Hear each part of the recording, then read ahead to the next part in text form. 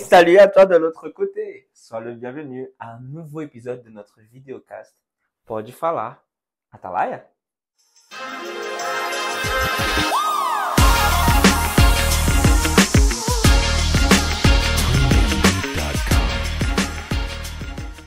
Ok, ok, de retour. Et là, je vais vous présenter notre invité d'aujourd'hui. Alors, il n'était pas très fan de Brésilien, à ce que je sache. Mais le Seigneur l'a préparé un plot twist qu'il n'attendait pas.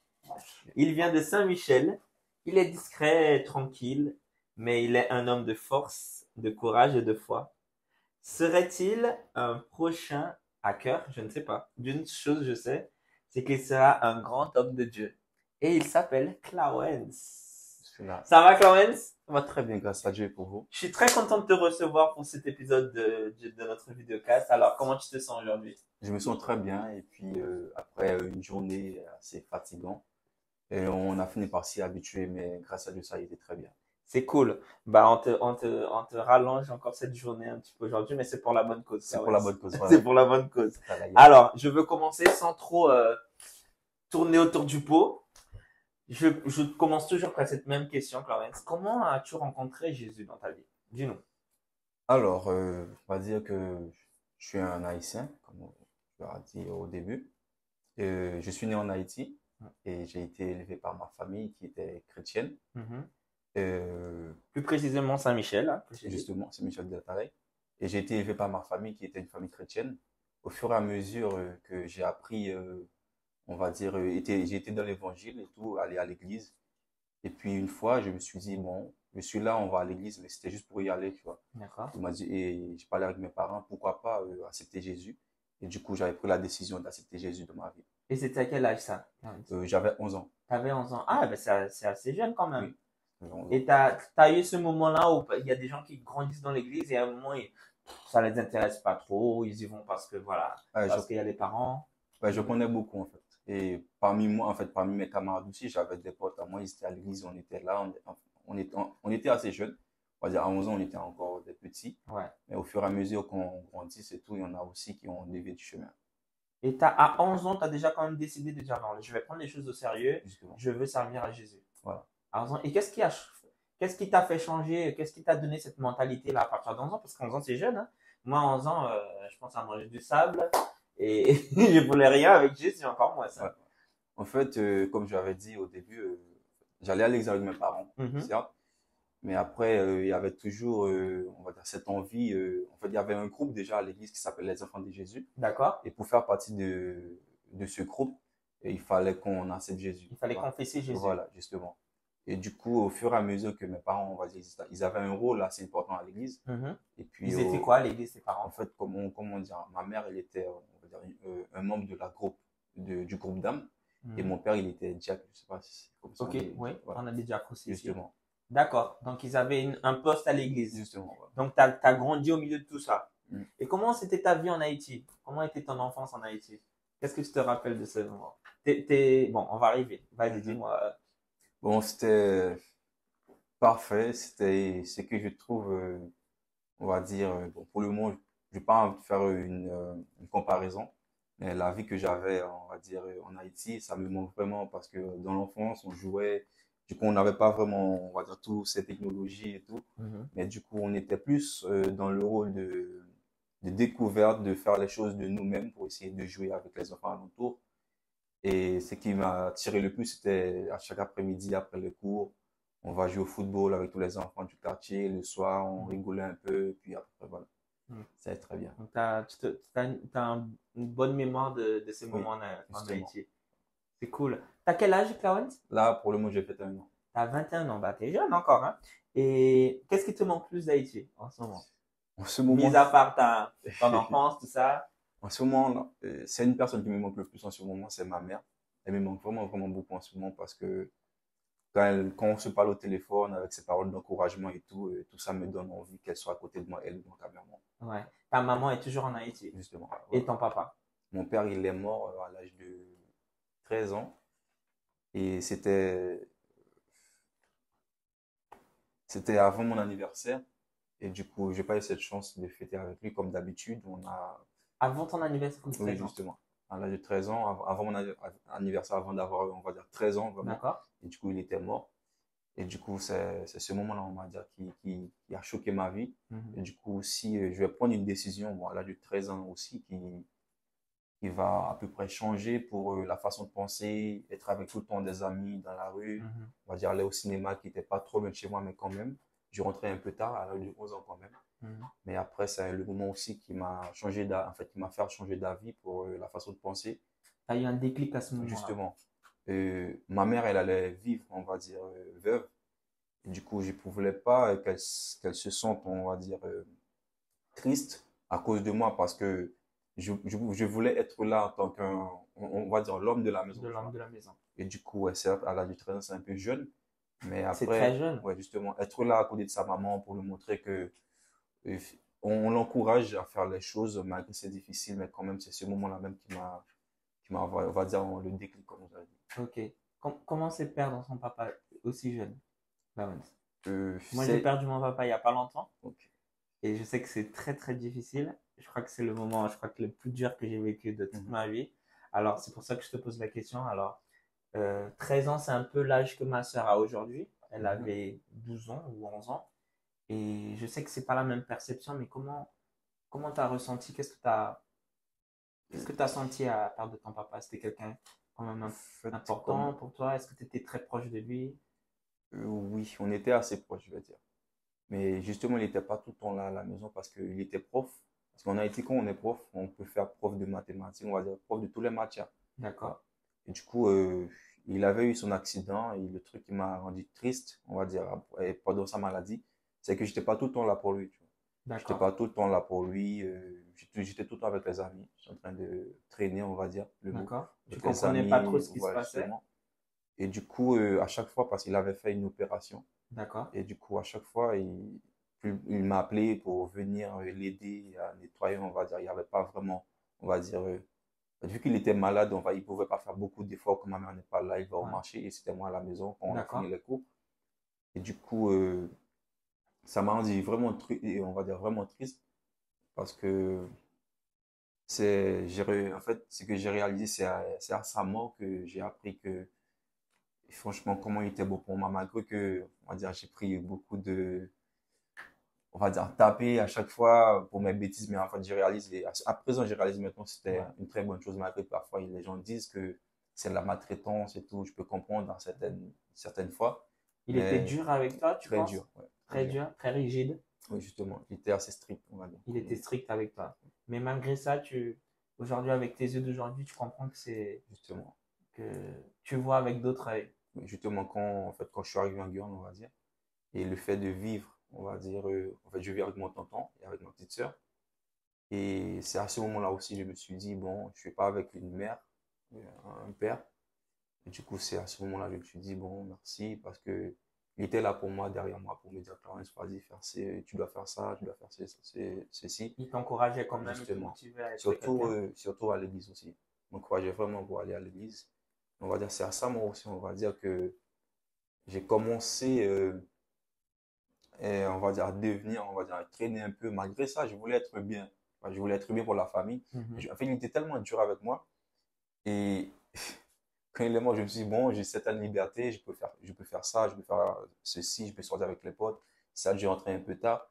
Mais au fur et à mesure que ma mère je, je voyais comment elle était triste Comme elle souffrait. justement. Et du coup je me suis dit euh, il fallait que ça change en fait.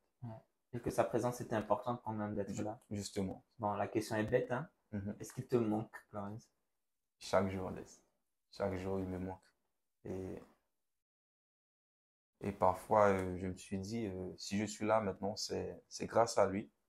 En quelque sorte certes il était mort avant que je sois en Guyane mais c'est grâce à lui quand même parce que c'est ses œuvres on va dire qui m'ont permis d'être là. Il me manque vraiment. Je suis un peu ému. Est-ce que t'as comment c'est vivre en Guyane? Sans ta maman très dur Parce que très dur tu viens de dire que t'es- t'as pas ton papa aujourd'hui. T'as ta maman, mais tu l'as pas quand même à côté de toi. C'est comment vivre sans ta maman ici? Sans la mère à côté d'un, on va dire, d'un fils, le grand-fils, on dire, de l'aîné de la famille, c'est toujours dur. Et on va dire, ça me manque parfois qu'elle crie sur moi quand je dois faire ceci, quand je là faire ça. Et du coup, euh, quand je me retrouve avec ma, ma petite sœur, et elle fait certaines choses, et que, et que c'est moi qui dois venir pour dire, ma soeur, fais pas ça, fais pas, voilà quoi. Et du coup, euh, on va dire aussi quand je suis à la cuisine, et parfois il y a des trucs, on va, on va dire, elle, elle m'apprenait à faire quand j'étais quand, quand à ses côtés. Ouais. Et du coup, maintenant, j'arrive pas à les faire. Je l'appelle quand même pour dire, maman, comment on, va, on doit faire ça, comment on doit faire ceci. Et du coup, elle m'explique. Et du coup, jusqu'à présent, euh, si je suis, on va dire, cette chance, on va dire, de vivre, on va dire, ce courage-là, c'est grâce à elle parce que même le soir, que ça me manque tellement, on va dire. Le soir, on va dire, quand c'est pas facile pour nous, on va dire, la communication parfois. Mhm. Et par rapport à son internet et téléphone et tout. Mhm. Mais malgré ça, on arrive à communiquer parfois et du coup, euh, elle me manque vraiment. Parfois, je sais même pas comment dire, mais parfois, c'est les. en fait, la femme, j'arrive à vraiment expliquer parfois, et on va dire, c'est de mes pensées, et puis les larmes coulent dans mes yeux le soir, dormir et tout. On dire comment elle me manque. Bah, j'imagine, c'est. Ça, ça, ça, c'est. Ça, c'est, ça peut être, je peux comprendre comment ça peut être compliqué, tu vois. Mhm. Euh, je, ça m'a touché parce que ça fait pas très longtemps que j'ai perdu mon père, comme je te disais. Et c'est quand on, c'est cliché quand on dit ça, quand même, mais on comprend les choses des fois quand on les perd, en fait. Justement. Et aujourd'hui, comme tu disais, aujourd'hui, avec tes yeux, aujourd'hui, avec la maturité que tu as, tu peux comprendre que même si des fois il était dur avec toi, et aujourd'hui, tu peux pas avoir ta maman à côté de toi, et tu te dis, euh, euh, dommage, euh, et elle te manque, et et c'est vraiment des fois, on a, on a, c'est dommage qu'on ait besoin de perdre pour comprendre ça, pour valoriser. la chance qu'on a quand elle est là et quand puis elles sont là. Elle est pas là. On Voilà. se dit que On a, on sait pas la chance qu'on a quand on a nos parents vivants qui sont là pour nous, pour nous encourager en fait, pour nous. Et parfois, on va même dire que oui, euh, on va dire les mots, peut-être qu'elles sont parfois, oui, mon père ou ma mère, elle me fait chier, désolé pour les mots. Ouais. Mais après, euh, c'est tellement vrai parfois. Ouais. Mais après, C'est vrai c'est qui, n'a pas dit, hein, ma mère m'embête aujourd'hui. C'est normal, tous tous les enfants sont passés par là, hein, même les parents aujourd'hui qui sont parents, ils Mhm. sont passés par là. Mais c'est vrai que il y a des jours, mais je remercie euh, le ciel, tu sais, Clarence, d'avoir pu avoir mon papa aussi longtemps. Mhm. Parce que des gens, ils n'ont pas, ils ont pas eu ce, ce- cette chance, ils n'ont pas eu euh, ce privilège d'avoir les parents aussi longtemps avec eux, en fait. Et des fois, euh, il y a des gens qui valorisent pas leurs parents, qui sont vivants, qui sont là, qui, qui font de tout pour leurs enfants. Et même si dans leurs failles, leurs erreurs, leurs défauts, parce qu'ils sont pas parfaits non plus. Et la Bible, elle, elle elle, elle, elle nous rappelle cela, d'honorer nos parents, parce que c'est quelque chose d'important. Et je sais que des fois, c'est difficile pour des jeunes. Il y a des parents qui comprennent pas. Il y a des parents qui sont difficiles. Et des fois, on est difficile aussi. On Oui, se voit pas comme jeune, ça. En tant que jeune, moi, je me voyais, j'étais, j'étais difficile aussi. Et, et des fois, nos parents essayent de, de, de faire ce qu'ils trouvent le mieux, en fait, pour nous. Et donc, tu disais, Clarence, on disait que tu, aujourd'hui, tu es en Guyane. Mhm. Ta maman est toujours en Haïti, donc ta maman est là-bas. Un petit frère à moi. Avec combien de frères tu as, Clarence? J'ai un petit frère, il s'appelle Ouchaï, et du coup, là, il a 13 ans, il vient d'avoir 13 ans. Ok, ben il a la même âge que moi, ça. Justement. Et à son âge, ce que je comprends, c'est que les choses, on va dire qu'il fait là, on va dire ça, en fait, que quand je suis, on va dire en Guyane, ça, on va dire, ça m'énerve un peu. Ouais. Parce que ça, il n'est pas à côté de moi quand j'ai quitté Haïti. Ouais. Et ça me rend triste le fait de ne pas avoir le petit frère à côté. On va dire, euh, il y a des choses, en fait, je fais, on va dire, et j'aimerais qu'il soit à côté de moi. Et, Qu'il voit. et justement, et aussi quand, quand je l'appelle, en fait, quand je parle avec ma mère en Haïti et tout, et ma mère me dit, voilà ce qu'elle, en fait, voilà, voilà ce qu'il fait, il rentre un peu tard, il n'écoute pas pour l'école. Est-ce que tu, te vois en lui un peu? oui, en fait, c'est moment, c'est ça que je dis à ma mère. Je dis à ma mère que C'est qui l'âge justement, c'est l'âge. Mais au fur et à mesure, il va comprendre que ça va pas être facile parce que moi-même, c'est ça que j'ai appris. Au début, je faisais n'importe quoi. C'est au fur et à mesure, on va dire, avec la maturité et Mhm.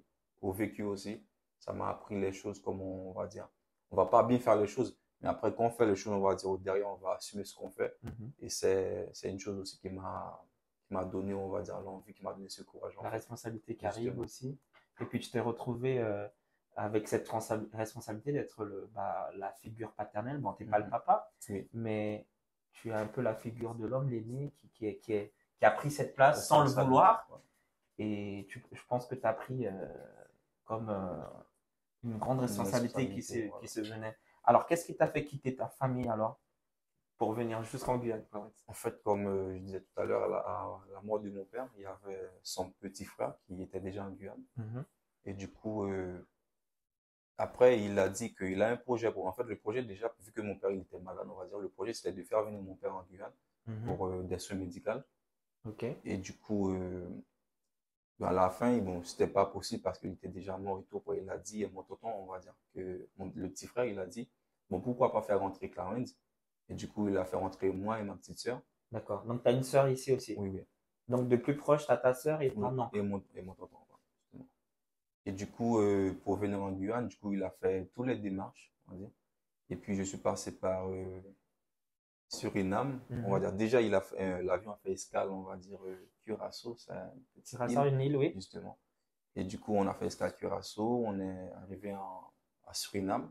Et Mhm. des Suriname, on a pris, euh, on appelle ça encore, le petit, euh, sur la fleuve, là, on est parti sur la, sur la fleuve, et du coup, on est arrivé à Saint-Laurent. Vous avez pris une pirogue sur le fleuve? Ouais, pirogue, ouais, justement. Ah, vous êtes venu en pirogue? Ouais, pirogue pour Raconte-moi comment ça a été tout ça, cette aventure.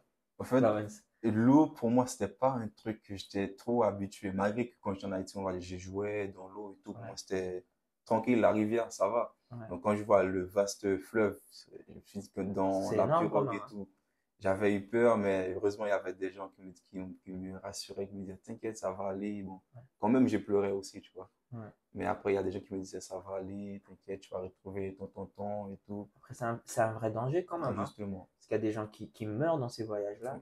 Donc, tu as, quand Et même euh, affronté des. Si je me rappelle bien, euh, dans le voyage, on était, pendant la faisait escale à, à Curaçao. Il y avait des gens, si je ne me trompe pas, qui étaient dans l'avion avec nous.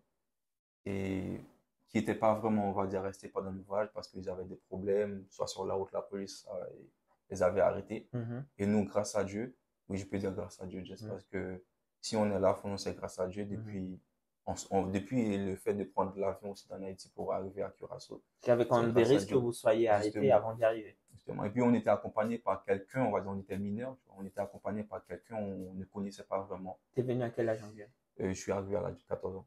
C'était quelqu'un que je connaissais pas vraiment. Et du coup, euh, au fur et à mesure que sur la route, et puis euh, cette personne était là pour nous protéger, mais après, il regardait pour, déjà pour lui, pour sa vie. Mais le fait qu'on était mineurs, on avait eu quelques chances pour des gens qui étaient là pour nous dire, bon, ces gens sont mineurs, on va les mettre à côté. Et ils, posaient, ils prenaient sur nous des gens qu'on ne connaissait Mhm. pas, et du coup, voilà comment on était. on Ça vous rassurait un peu plus. Et du coup, vous êtes arrivé par le fleuve en Guyane. Et comment était cette arrivée en Guyane? Euh, Parce que c'est plus Haïti. Qu'est-ce que, comment a été euh, l'impact qui- que tu as eu pour euh, la découverte, on va dire quand je suis arrivé On vers sait quand même qu'il y a une grande communauté, une communauté haïtienne quand Oui. même en Guyane. Oui. Mais comment ça a été être euh, quand je suis arrivé euh, à, sur- euh, à Saint-Laurent, on va dire, après euh, le fleuve, Ouais. bon, en fait, je vais pas te mentir, je m'attendais à un- quelque chose de plus grand, tu vois. Je me suis dit, Ouais. j'entendais des musiques haïtiennes et tout, je me suis dit, mais bon, c'était pas vraiment ça. Et puis là où j'allais et tout, T'attendais d'arriver à euh, le musée de Louvre à côté, et puis, la Tour Eiffel là. qu'on parlait anglais et tout, parce qu'en fait, je connaissais pas vraiment la Guyane, tu vois. Il y a des Français qui connaissent pas la Guyane. hein. Justement. Moi, je te dis, je suis parti en France pour un concours et les gens pensaient que la Guyane était une île. hein. Donc, euh, et c'est des Français. Hein. Euh, on dit que la, la France est des, un pays étudié et tout, mais il y a des, ils me demandaient si la Guyane était une île. Ils savent, et c'est un département français et, et pour Oui, autant, ils connaissent savent pas. pas où c'est. Hein. Sur si tu leur demandes sur une carte, ils savent pas. Donc, du coup, Du coup, euh, première surprise quand t'arrives. voilà, du coup, je me suis dit, mais c'est comme j'étais, c'est comme si j'étais en Haïti, quoi, Ouais. parce que les voitures, on va dire les engins. Et puis Saint-Laurent, ça fait Ouais, un justement, peu quoi, ghetto c'était un quand peu même. chaud, voilà, justement. Et puis, dans, là où j'allais aussi, avant que mon tonton allait venir, ve- venir nous chercher, j'étais allé chez un ami à lui et tout. Et du coup, on a passé euh, deux jours parce que, si je me trompe pas, il fallait que je passe euh, par euh, la frontière euh, pas.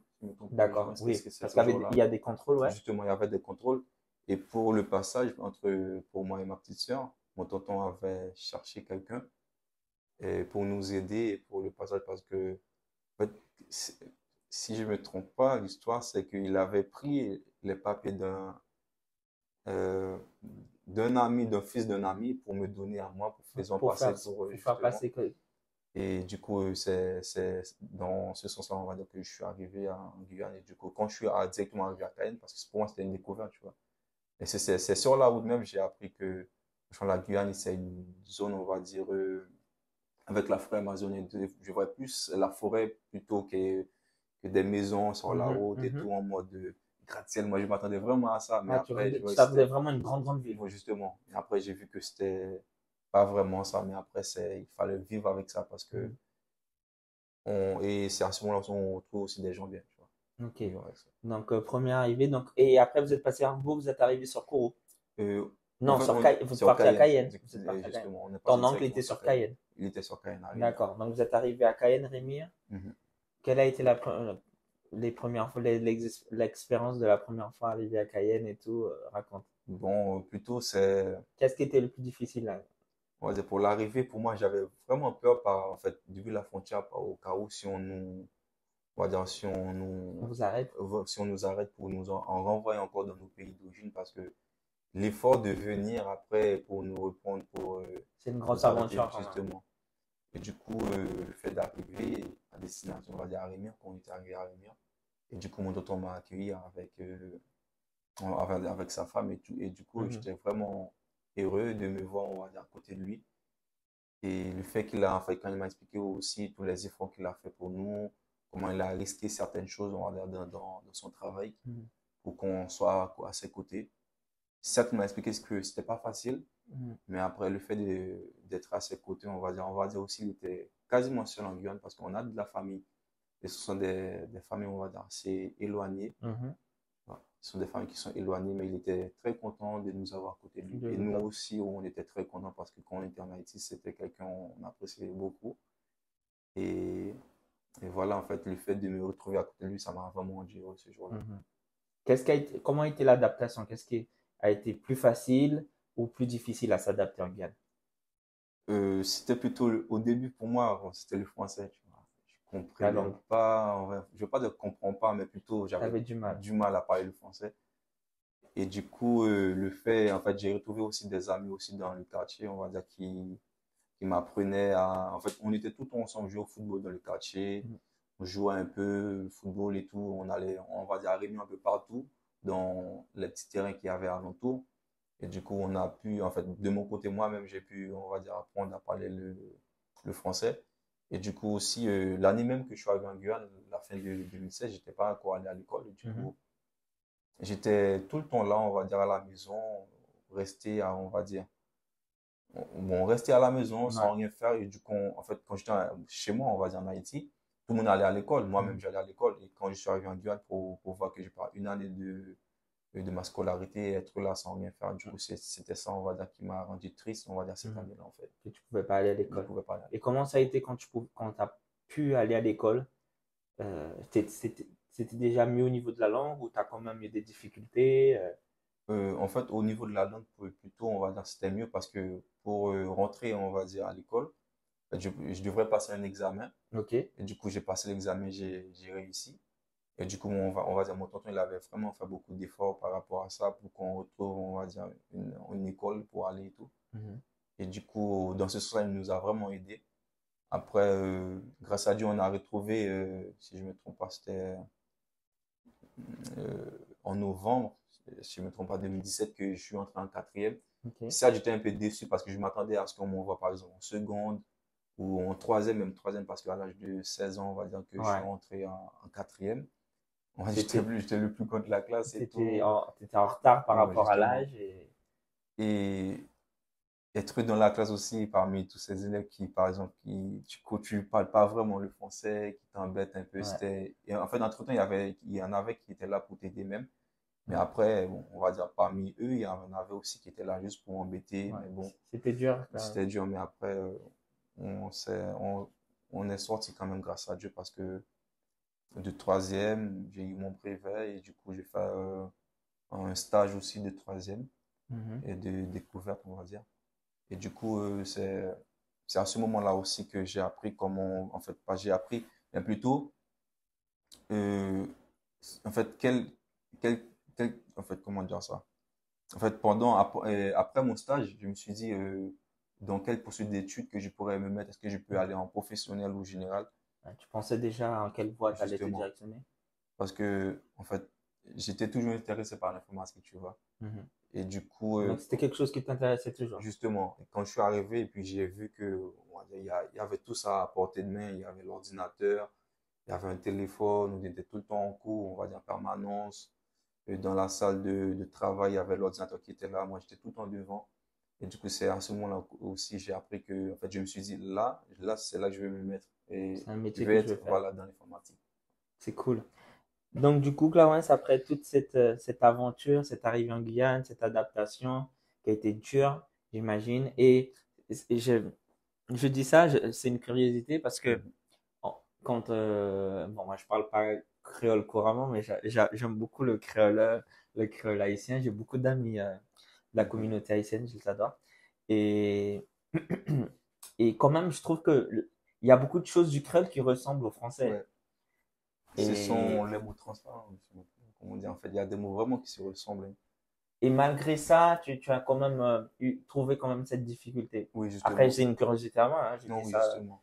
En fait, la, les Parce que tu vois, quand je pense euh, au portugais, c'est vraiment beaucoup plus loin du français, on Mhm. va dire, que le créole.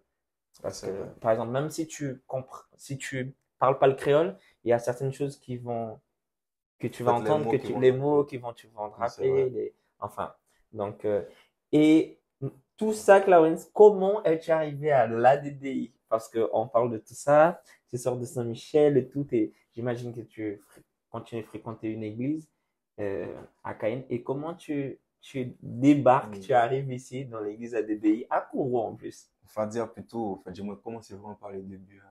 Tu peux commencer. En C'est pour, la- c'est euh, pour ça qu'on est là. Justement. Mais du coup, en fait, quand je suis arrivé en 2016, en 2016, du coup, euh, j'ai rencontré, on va dire, une famille, là où j'habitais, qui allait à l'église de, une église de Cayenne. Et du coup, euh, tout le temps, j'allais, c'était un bus, on prenait un bus pour aller à l'église. Et tout le temps, c'était comme ça, tu vois. Donc tu continues à y aller à l'église à Cayenne. justement. Et au fur et à mesure, et qu'on grandisse aussi, et puis on voit quelques vécus, on va dire, qui, quelques, on va dire, euh, euh, euh, des problèmes qu'on retrouve sur le chemin, on va dire. J'ai- chercher quand même ce soutien dans la Ouais, foi, en Dieu. Et j'ai retrouvé, on va dire, j'ai pu rencontrer des gens exceptionnels vraiment à l'église et jusqu'à présent qui sont toujours là pour m'aider. Certes que je ne suis pas dans cette église-là, qui sont toujours là derrière moi pour m'aider. Mhm. Mais après, j'étais dévié, on va dire, un moment parce que j'avais, en fait, comme on va dire, en fait, j'étais arrivé à, à un stade que j'attendais plutôt que les choses, on va dire, viennent à moi sans demander. Et puis, euh, Et qu'est-ce qui t'a fait éloigner? Qu'est-ce que tu penses qui t'a fait- fait t'éloigner un peu? Et justement, c'est au fur et à mesure de, d'être avec les amis, en fait. Et du coup, j'étais tout le temps là, on va dire, traîner avec eux. Au lieu d'aller à l'église, je préférais par exemple être avec eux, aller jouer au football et tout. Et puis, euh, un moment aussi qui m'a, m'a marqué, c'était un jour, je sortais, je sortais de l'église. Enfin, à, à un moment, j'avais déménagé pour aller habiter à Cannes avec un, avec quelqu'un de, de notre, de notre famille, très éloigné. Et du coup, euh, je sortais de l'église et puis, je sais pas si tu as déjà entendu parler de la PAF et tout, des gens qui, Oui, justement. sûr. Et pendant que je sortais de l'église, et puis c'est à ce moment-là que les gens, ils, ils m'ont rencontré, ils m'ont demandé mes papiers et tout. Bon, j'avais pas les papiers, certes, mais après, je me suis dit, bon, pourquoi euh, je vais à l'église, on va dire, je vais prier le Seigneur et tout. Dès que je suis à l'église, c'est là que j'ai des problèmes et tout. Mm. C'est, en fait, ça fait deux, trois fois qu'ils m'ont arrêté, tu vois. C'est pour la même chose, ils sont tes papiers et tout. Et du coup, euh, à ce moment-là, je me suis dit, bon, je vais plus à l'église, c'est comme ça, je, je vais à l'église. Ça t'a si, le fait que, Mais en fait, parfois, quand on est chrétien, on attend. En fait, on va à l'église, on attend tellement. Et puis, quand, on, on va dire, le mal arrive, on n'est pas là pour l'accepter vraiment. Et du coup, je me suis dit, bon, voilà, je vais t'étais frustré que le fait que tu sois à l'église, il y avait quand même des, des problèmes qui étaient là. Justement, justement. Et Et- ça t'a, ça, ça a un peu refroidi ta foi. Justement. Et puis, j'ai arrêté d'aller à l'église. Bon, depuis un bon moment, en fait, j'avais arrêté d'aller à l'église et tout. Et puis pour arriver à comment je suis arrivé à DDI de, de Kourou, Oui, parce qu'il faut dire que Clarence, il a continué ses études et aujourd'hui, bah, il est, il est étudiant. Il est à l'IUT de Kourou et tu t'es retrouvé, c'est comme ça que tu t'es retrouvé à Mhm. Kourou. Maintenant, je vais laisser te, je vais te laisser la place pour t'expliquer comment tu es arrivé à la Bon, c'est toute une histoire derrière tout ça. Et Comment le Seigneur a tracé ce chemin? c'est aussi un, ma témoignage, tu vois.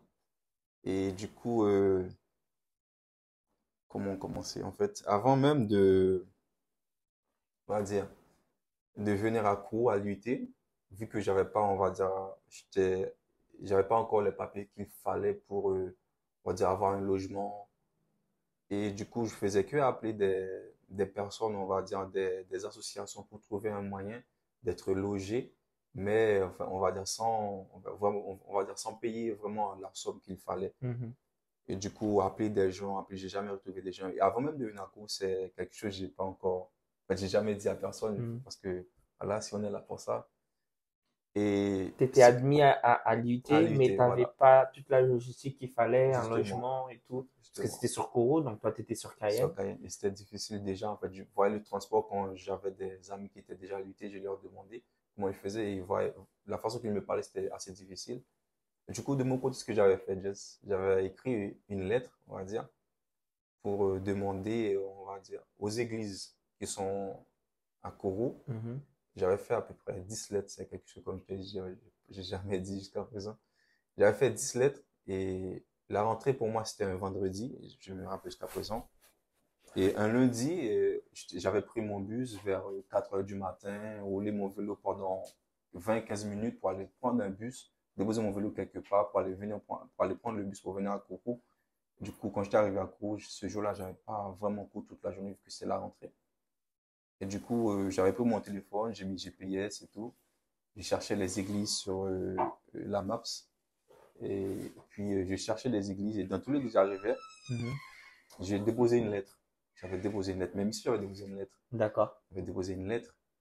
Et du coup, vraiment, de tous les qui sont alentours, j'avais vraiment déposé une lettre. Ok. Et j'ai jamais eu de retour. Et même ici aussi, j'avais Ouais. pas de retour. Mais après, je- j'ai su pourquoi j'ai pas, pas reçu de retour, en fait. Tu as laissé une lettre, en, une demande d'aide, etc. Justement, en fait, pour essayer de trouver un logement. Mhm. Et pour, euh, on va dire, même si on va dire, j'avais pas les moyens, mais de chercher quand même moyen pour payer. Ok. Et puis, euh, à cet instant-là, et puis, euh, le, un mardi, un mercredi, parce que pour moi, le bus que je prenais pour aller à Cayenne, elle partait à midi parce que c'était un bus du lycée pour moi, parce que moi, le, le mercredi, j'ai cours, tu vois. Et du coup, j'avais un camarade dans la classe. Et bon, avant même de lui demander, j'avais demandé, on va dire, à quasiment la moitié d'élèves dans la classe pour chercher un, endroit de dormir, Mhm. pour, euh, on va dire, juste pour passer la nuit du mercredi et puis le lendemain, le Pour jeudi, pouvoir rentrer. justement, pour pouvoir rentrer, on va dire. Et puis, quand j'ai vu Gabriel, je sais pas si, voilà, j'ai vu le frère Gabriel, je me suis dit, bon, je vais pas lui demander parce que, vraiment, on va dire les choses, hein. Je dis, bon, parce que j'avais pas vraiment des bonnes relations avec les cousins quand j'étais au collège. Mhm. C'était tout le temps bagarre. C'était vraiment tout le temps des bordels, tu vois. Ouais. tout le temps bordel. Quand j'ai vu Gabriel, Donc, tu as eu déjà euh, je me suis dit, bon, lui, c'est un une gars- réticence, euh, encore un Brésilien et Je me suis dit, lui, c'est un fêtard, je vais aller chez lui, il y aura des problèmes. en fait, malgré que, on va dire, en fait, j'étais pas, en fait, à ce moment-là aussi, j'étais pas vraiment, on va dire, euh, vraiment à l'église. Ouais. Mais j'étais toujours un gars, on va dire, qui était avais une vraiment- certaine crainte. voilà, voilà, être à l'écart de, de certaines choses. Mhm. Du coup, je me suis dit, bon, je, je vais lui demander quand même, on sait jamais. Mais avant, avant de lui demander, tu sais que j'avais demandé à tous les autres de la classe et tout déjà. Puis, je me rappelle très bien, puis j'ai dit, oh Seigneur, j'ai plus d'espoir, mais lui, même pas, parce que j'ai pas envie d'être dans certaines choses, parce que voilà, quoi, parce que joker. comme- justement, parce que, comme je t'ai dit, la réputation avec euh, certains camarades, on va dire, c'était compliqué, Bah, il faut dire, hein, la, la- la plupart de vos uns sont des fêtards. hein. Justement. Et du coup, euh, quand je lui ai demandé, j'ai dit, eh, mon frère, euh, je lui connaissais pas, il dit, yo, est-ce que c'est possible? De, je, je pourrais payer, euh, est-ce que c'est possible de passer une, on va dire, une soirée chez toi pour dormir et tout? Il m'a dit, attends, et à cet instant-là, il a appelé sa maman. Et puis au moment même, bon, il a raccroché tout de suite après, je me suis dit, ah, c'est C'est mort. mort. Je me suis dit, c'est mort. La façon qu'il a raccroché et Ouais. tout, je me dis, c'est mort. Et après, il m'a dit, ah, ok, c'est ok. J'ai dit, ah bon? Après, il a dit, oui, c'est ok. J'étais un peu étonné. J'ai dit, mais bon, c'est bizarre quand même, la façon qu'il me disait, ok. En fait, bon, du coup, je me suis dit, bon, je vais attendre un peu parce qu'on était à peu près vers midi, il était rentré chez lui. Et puis, euh, j'étais resté à l'UT. Puis, je faisais des idées. Je me suis dit, bon, est-ce que je vais y aller ou pas? Parce que j'ai pas envie vraiment d'y aller. Puis après, qu'il y aura, il y aura des problèmes. Mhm. Et puis, euh, ce que je me rappelle, et puis, et, et il est, après, après la pause de midi, il est venu vers moi. Quoi. Je lui ai dit, bon, euh, pour la somme, on va déjà en parler parce que voilà. Et Je parlais des sommes, mais franchement, c'est, j'avais même Que pas tu- la possibilité, Parce que tu vois. tu attendais de payer et sans, sans, sans quand même ne pas savoir comment t'allais faire. Justement, après, il m'a dit, mais tu sais, pour nous, on- le mercredi, euh, on va à l'église. En fait, il au début, il m'a pas dit à l'église, il m'a dit le mercredi. Et, et on n'est pas à la maison, on est tous pas à la maison. Du coup, ça va être impossible, par exemple, qu'on te laisse directement à la maison. Puis pour nous, on te laisse à la maison, par exemple, et nous, on va faire euh, ce qu'on doit faire, quoi. Je dis non, pas de problème. Moi, j'ai juste un endroit pour dormir. Même si euh, vous allez passer 2 heures, 5 heures à l'église, et enfin, il m'avait pas dit à l'église Ouais. déjà, je t'ai dit. Même si là où vous allez, vous allez passer 5 heures et tout, laissez-moi dehors, pas de problème. Je peux rester dehors, puis le moment où vous allez rentrer, je pourrais rentrer avec vous. Il m'a dit, mais non, euh, on va juste aller. J'ai dit, ah bon, ben, il dit, pas de problème. hein. À ce moment-là, j'étais vraiment content parce que j'ai dit, De savoir qu'ils étaient à En fait, l'église. en je plus. m'attendais pas à ce que l'église, quoi, parce que, comme je t'ai dit, Enfin, parce que pour, tête, c'était- pour les gens qui savent pas, bah, mercredi, bah, c'est, c'est une journée un peu, euh, là, il y a des répétitions. Donc, il y a les sœurs qui, qui font le cercle de prière. Et nous, la, la répétition des jeunes, c'est le mercredi. Mhm. Et je me rappelle, euh, la première répétition, je pense que tu étais resté. Oui. Gabriel n'est pas venu. il n'était pas, oui, Il, il était il pas- est resté avec toi. Justement, Et je justement. savais pas. Et, et la deuxième répétition encore. Et j'ai dit, mais Gabriel, pourquoi tu n'es pas venu à la répétition? Il me dit, non, parce que j'ai un ami à la maison et je le, je le faisais compagnie et tout. Et j'ai dit, bah, pourquoi tu le ramènes? J'ai dit, mais c'est un ami d'où? Il me dit, un copain de classe et tout. Et j'ai dit, mais pourquoi tu ne le ramènes pas à la répétition alors? Il me dit, ouais, je l'ai, j'ai pas pensé et tout. Et j'ai dit, mais il est chrétien. Il a dit, en plus, il est chrétien. J'ai dit, bah alors, en plus, pas? il est chrétien, tu l'emmènes pas? Je dis, hé, la semaine prochaine, tu ramènes ton, ton, ton ami hein, à la répétition parce que tu vas pas rester tous les mercredis sans venir à la répétition. Et c'est la première fois que je t'ai vu quand même. Donc, euh, je te laisse continuer. Oui. Donc, du coup, qu'est-ce qui s'est passé? Donc, à partir de... Bon, à partir de, on De ce moment-là? de ce moment-là, on va dire, de ce soir-là, on va dire plutôt dans la soirée. Et comme tu viens de dire, on n'était pas vraiment allé à l'église parce que voilà. Il est resté te faire euh, ouais, compagnie. justement, il était resté avec moi. Et puis, euh, au moment que la famille était rentrée, j'ai parlé avec sa mère. Et du coup, l'accueil qu'ils m'ont donné, je me suis dit, mais, enfin, on va dire, c'est quelque chose, on va dire, Jess, en fait, il y a un truc comme si aussi, je t'ai pas dit au début. Parce qu'une fois, je me, en fait, j'allais, euh, pour, en fait, un matin, je me suis levé pour aller acheter du pain. Et il y avait la PAF qui m'ont rencontré ce jour-là. J'avais vraiment des amis, mais vraiment, j'ai même fait garde à vue, tu vois, à cause des amis. d'accord. Et, et c'est ce jour-là, pendant que j'étais en route pour aller acheter du y a la PAF qui était venue. Ils m'ont, en fait, j'étais assez majeur, tu vois, avant même de venir à l'UT. Et pendant les grandes vacances avant de venir à l'UT. Et puis, ils m'ont arrêté, et puis ils m'ont amené euh, à Rochambeau, si je me trompe. Oui, c'est à Rochambeau. Parce que j'ai passé une journée là, en fait, une journée là-bas, et pendant cette journée-là, j'ai prié le Seigneur. Je demandais au Seigneur, en fait, j'ai plus envie d'avoir ce genre de relation, on va dire, des amis qui sont là vraiment dans des Justement, justement.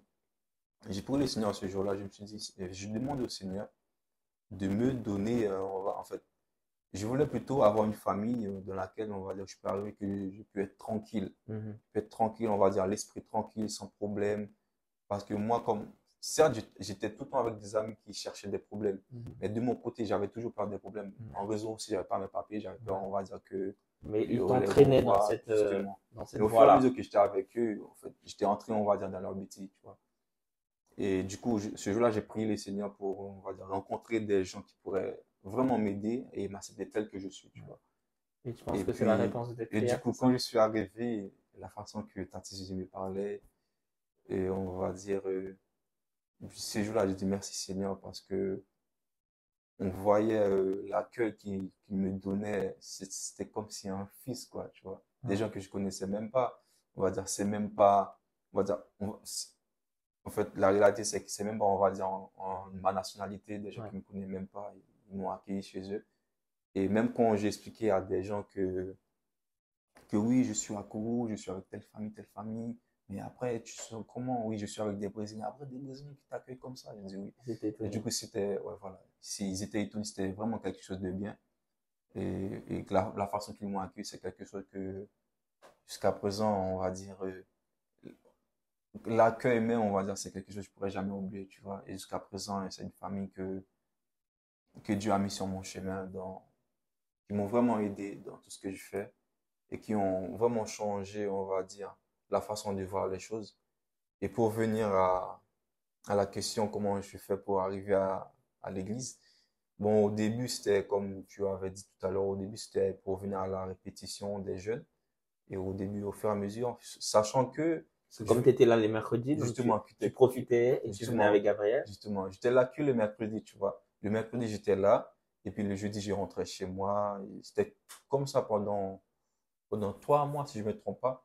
Et puis un jour, euh, en sortant de la répétition, Tatuzi m'a dit, mais tu sais, quand on a, on a culte biblique, culte d'enseignement les jeudis, c'est possible, tu peux, tu peux- En fait, elle m'avait dit ça, elle m'avait dit ça depuis avant. Mais je voulais pas être, euh, en fait, je voulais, je venais de rencontrer la famille, tu vois. Je voulais pas être, euh, Invasif. on euh, va dire être trop, on va dire euh, Présent, voilà, comme- justement être présent dans la famille, être tout le temps Tu là. te sentais gêné d'être là. Justement.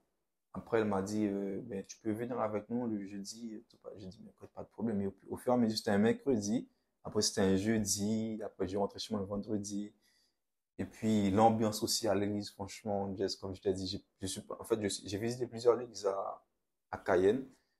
Et du coup, l'ambiance qu'il y avait dans cette église, c'est que, on va dire, on va dire, la communion, l'union, on va dire qu'il y avait, par exemple, il y a des, des, églises à la fin du culte, tu vois, les gens se disent, ben, l'appel Seigneur, tout le monde rentre chez eux. Et du coup, c'est quelque chose aussi qui m'a marqué quand je suis arrivé dans cette église. Ils, ils étaient tous là en train de t'accueillir, te poser des questions, même quand, on va dire, quelqu'un, on va dire, euh, qui aime rester seul, tu vois, les gens, ils viennent vers toi pour, pour parler avec toi, comment tu vas, les études et tout. Ils, ils ont envie de te connaître un peu plus, malgré que toi-même, tu te mets à l'écart, tu Mhm. vois. Et du coup, euh, Tu t'es senti accueilli. Justement, senti- justement.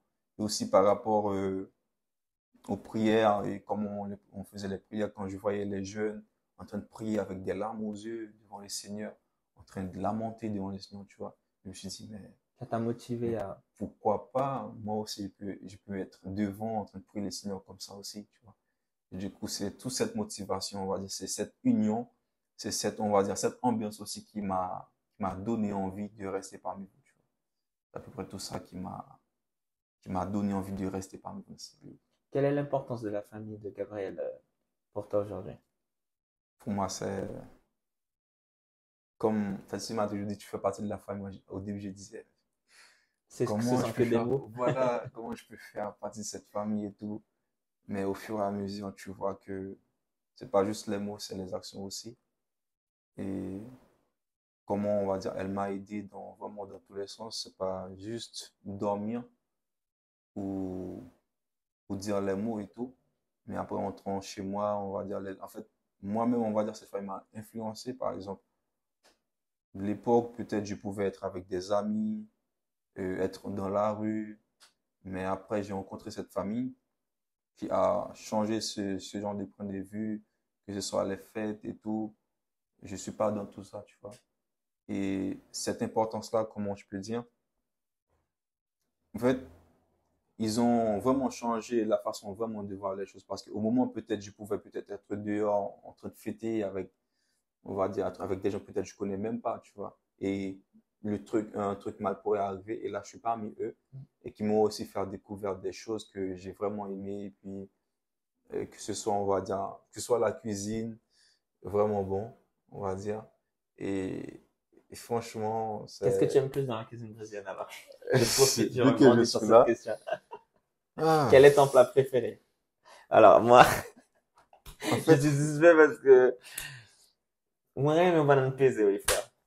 J'adore tellement ça. sur une bonne pesée, Jess. Ah ouais, moi, je Alors, pourrais être haïtien que pour ça, tu vois, quoi. Que pour ça. Ah, Mais qu'est-ce que t'aimes bien en cuisine En fait, je connais pas vraiment les Leur noms nom? des plats. En fait, c'est ça le problème. Explique-moi, je te dis ça, c'est En quoi? fait, il y a quelque chose qui- qu'ils font. euh, comment expliquer? En fait, c'est c'est avec les maïs et tout, ils mettent du coco Ah, euh, mingao du milieu.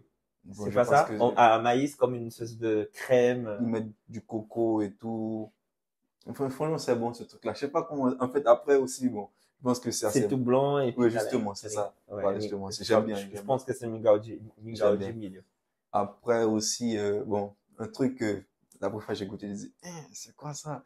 Et après le wassail et tout. Bon, Le ouais. Moi, moi, je, On est des buveurs de wassail, hein? la façon dont moi je l'ai fait, bon, je sais pas si ils font, en fait, ils font pas vraiment, en fait, j'ai pris le wassail, j'ai mis du sucre, après j'ai mis un, un peu de lait en poudre Ouais. aussi, tu vois. On le prend comme ça aussi au Brésil, Ok, dans, dans des régions. voilà. Après, euh, il y a ceux qui sont plus puristes, on prend avec le quoi, nanana. Avec Voilà. du lait en il y a poudre. plusieurs façons de. Ok, ok. Ouais. Et avec du lait en poudre et tout, après un peu de quark, et puis franchement, c'était parfait. Ouais. J'aime bien. Donc t'aimes bien ça. Et du coup, toute cette ambiance là-bas aussi, avec Gab, avec euh, Anna, avec Raz, Mhm. franchement, c'est c'est bien. Ok. Bah écoute, euh, euh, tu arrives à voir, euh, Clarence, la main de Dieu dans cette providence-là? Parce que tu disais que tu avais la motivation, tu as fait quand même, euh, tu disais que tu as fait des lettres pour euh, Mm. trouver une solution. Parce que ça allait être difficile si tu n'avais pas un endroit. Comment t'as- parce que comment tu n'avais pas où rester, tu n'avais pas où dormir, comment tu faisais la journée, ou est-ce que, comment tu allais manger aussi. Justement. Et est-ce que, co- comment tu vois cette providence du Seigneur dans ta vie? D'une façon que tu t'attendais pas, mais est-ce que tu vois la main de Dieu dans tout ça? Oui, justement, parce que, euh, comment dire, euh, je vivais plutôt, on va dire, euh, euh, selon l'attente, comment, je sais pas comment on va dire ça. En fait, dans le sens, tu te dis, bon, je vais faire les choses, mais tu sais que ça va arriver, tu vois. Mhm. Et puis au fur et à mesure, quand tu fais, tu fais, tu fais les choses, tu vois qu'il n'y a pas de solution. Et quand j'ai pu rencontrer cette famille, on- je vais pas dire les solutions sont venues comme ça, Ouais. tu vois. Mais tu as Mais senti quand même. Ouais, en fait, tu sens qu'il y a un truc, tu vois. En fait, je peux dire le truc, c'est en fait la, la puissance qu'il y avait, on va dire, dans cette famille, la main de Dieu, vraiment, on va dire, la foi qu'il y a dans cette famille, m'ont vraiment aidé à avoir aussi cette confiance en moi encore plus. Et, T'as et ressenti aussi- la flamme de ta foi s'allumer encore? et justement, et aussi à ne pas abandonner, on va dire, euh, euh, la présence de Dieu, être aussi euh, dans, dans les Seigneurs, tu vois. Et du coup, c'est toutes ces choses-là aussi qui m'ont, qui m'ont aidé, on va dire, euh, à, à ne pas vraiment envie on- d'abandonner les choses. Parce que voir la famille comme ça derrière toi, des gens que tu connais même pas vraiment, comme je dis. Et ils m'ont vraiment aidé dans beaucoup de choses. Et jusqu'à présent, euh, si je suis là dans cette église, c'est grâce à eux, tu vois. Si j'avais pas fait la rencontre de Gabriel, et si j'avais pas, on va dire, si à tout moment il m'avait dit, bon, c'est pas possible, et je serais peut-être pas, pas être là, tu vois. Mais c'est grâce à eux que je peux être ici, en fait, je peux dire à chaque fois. Et je peux dire sincèrement, euh, Ça- ton histoire me touche beaucoup parce que tu as, tellement de personnes qui ont tellement des privilèges, des chances, tu vois, d'avoir tout en fait. Mhm. Et, et je vois que tu n'as, pas abandonné en fait. Tu as foncé malgré, tu avais les difficultés, tu avais les. et moi, je sais pas, moi je pense, euh, je me mets dans ta, dans ta situation, je dis, mais j'allais abandonner dès le départ. Tu vois, j'allais même pas prendre le bus peut-être. Ah Parce que je me dis, c'est- ça sera impossible, quoi. Parfois les idées étaient là, sais. Parfois les idées étaient là. Je, comme je l'avais dit tout à l'heure, les trois, les trois, quatre mois, j'avais fait à prendre le bus chaque matin. Tu prenais le bus pleut. tous les jours. En fait, je prenais, en fait, je me réveillais à 4 heures du matin pour aller prendre le bus 20, 20, 20 minutes, 25 minutes de vélo pour aller prendre le bus quelque part. Ah, parce qu'il fallait quand même que tu ailles à l'endroit où il faut prendre le bus. Justement. Et parfois, il pleuvait, comment je faisais, mais bon, un petit secret, tu vois. Et tu allais, tu prenais le bus à 4 Justement. heures pour venir à Kourou? Je prenais, en fait, je suis allé, en fait, le temps de, en fait, de me réveiller à 4 heures, le temps de prendre la pendant 20 minutes, 25 minutes pour aller déposer mon vélo et marcher, il on va fallait être à large, 5 euh. minutes. Et le bus passait vers 5h, 5h20, 5h30, tu vois. Mais tout, tout ce temps-là, en fait, c'était, ça passait vraiment très vite. Et du coup, euh, pour aller prendre le bus comme ça, et puis pour aller à l'UIT, puis le, le soir, pour rentrer, à, attendre le bus à, à, à 18h, parfois il est, parfois il est 20h, j'étais devant l'UIT à attendre le bus pour rentrer à la maison. Tu rentrais à 8 heures du soir. Et, du- soir, je rentrais. Et tu faisais comment la journée. Clarence Euh, Du coup, la journée, c'est-à-dire être à l'UIT ou à la maison? À l'IUT parce que tu, tu dis que tu venais, tu restes à 5 heures, tu pouvais pas Mhm. repartir, tu pouvais pas rentrer. Donc, y avait, tu n'avais pas encore rencontré Gabriel. Mhm. Tu faisais comment tu, Bon, tu, tu restais là à l'UIT non, j'étais resté à l'UIT parce que je connaissais pas vraiment personne. J'étais juste resté à l'UIT et du coup, bon, j'avais toujours dit, tant que j'ai un petit ordinateur devant moi, j'étais tranquille, j'avais toujours mon ordi et tout. Mais après, j'étais toujours resté tout seul, mais au fur et à mesure que, après, j'ai rencontré Gabriel chaque midi. Ouais. Je pouvais rentrer chez lui puis manger avec lui, avec la famille. et Ouais. Voilà. Ok, super. Euh, bah, on arrive au moment où tu es rentré à la DD, donc tu rentres aussi au sein de la chorale à.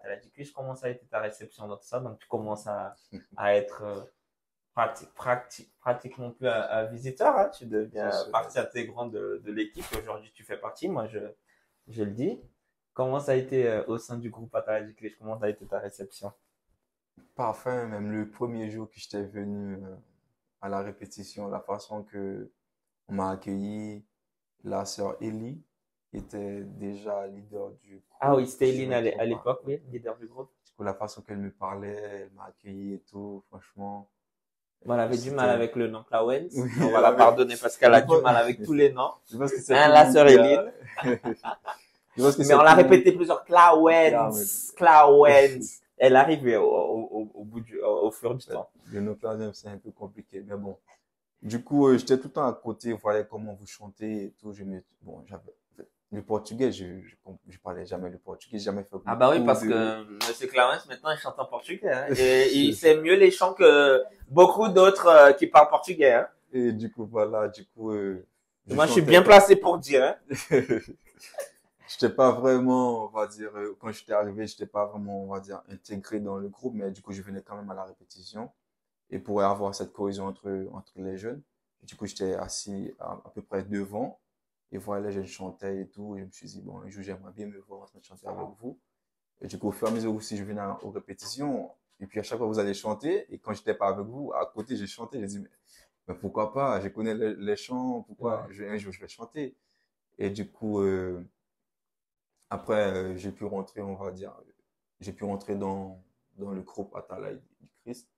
Et du coup, euh, ça, en fait, on va, en fait, ce moment-là, on va dire que, certes, j'étais à l'école, on va dire aussi, aussi le week-end, j'avais pas vraiment beaucoup de temps chez moi à, à cause de l'école, c'était juste Mhm. rentrer, travailler, puis voilà.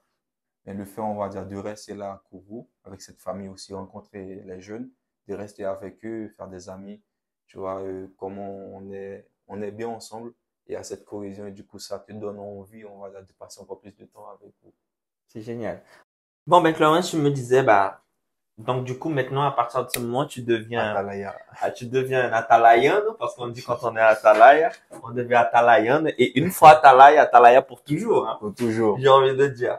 Et tu as commencé à participer, bah, de, des programmations, des événements, jusque-là. Quels ont été les, les moments, les événements qui t'ont plus marqué jusqu'ici? En fait, euh, l'événement vraiment qui m'a plus marqué, c'était euh, pendant un congrès. Et si je me trompe pas, je pense euh, le thème du congrès, en fait, c'était le feu brûlera continuellement sur l'autel, si je Mhm. me trompe pas. Et du coup, euh, j'ai demandé à Dieu ce jour-là, en fait, que ce feu-là vraiment reste en moi, parce que, que ce feu continue à, on va dire, être en moi, parce que je me sentais bien. Et du coup, euh, je voulais que le Saint-Esprit aussi m'utilise, on va dire, être parmi vous, à chanter pour les Seigneurs, mais vraiment sans vraiment abandonner, parce que vraiment, c'était pas facile. Et le congrès, pour moi, vraiment, c'était la première fois, et j'ai vu qu'on euh, on avait fait cet euh, rassemblement, on va dire, tous les ADDI de, de Guyane, Mhm. étaient rassemblés à, à la centrale à Cayenne. Et du coup, c'était vraiment un moment, on va dire, exceptionnel de voir euh, vraiment des jeunes qui, qui, qui sont ensemble pour prier les Seigneurs, pour louer les Seigneurs, et dans un seul but, dans un seul but, tu vois, pour prier les Seigneurs. Et du coup, c'est ce moment-là aussi qui m'a, marqué? qui, qui m'a marqué aussi. Le fait, comme je t'avais dit tout à l'heure, certes, j'étais, en fait, j'avais pas vraiment de temps chez moi, on va dire, pour passer avec les amis et tout. mais le fait de vous rencontrer, et j'ai appris, on va dire, euh, à sortir, on va dire, cette envie aussi d'être encore plus avec vous, en fait. Nickel.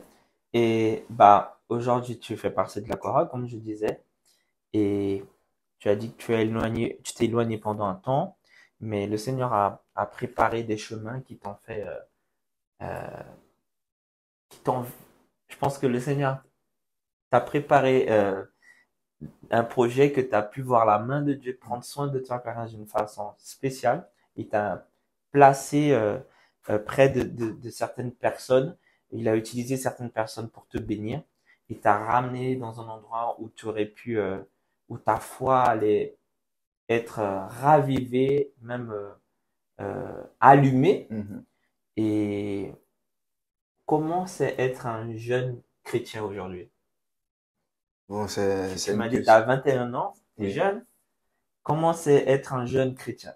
Jeune chrétien, euh, franchement, Quelles sont les difficultés d'être un jeune chrétien? c'est pas facile. hein. Si quelqu'un te dit être jeune et puis t'es chrétien, il te dit ouais, être chrétien étant, étant jeune, c'est vraiment pas Que facile. dis-tu, hein, Clarence? Euh, Parce que t'es, par exemple, pour moi, personnellement, je suis à l'UT et du coup, euh, on a des amis, on va dire, euh, on est dans la classe, il y a un peu tout le monde. Tu côtoies plusieurs, tu côtoies Ouais, plusieurs personnes. plusieurs personnes, tu vois. Et du coup, euh, c'est à ce moment-là, on va dire, par rapport à tes comportements, où on va dire, tu vas refléter, on va dire, cette personne que tu es.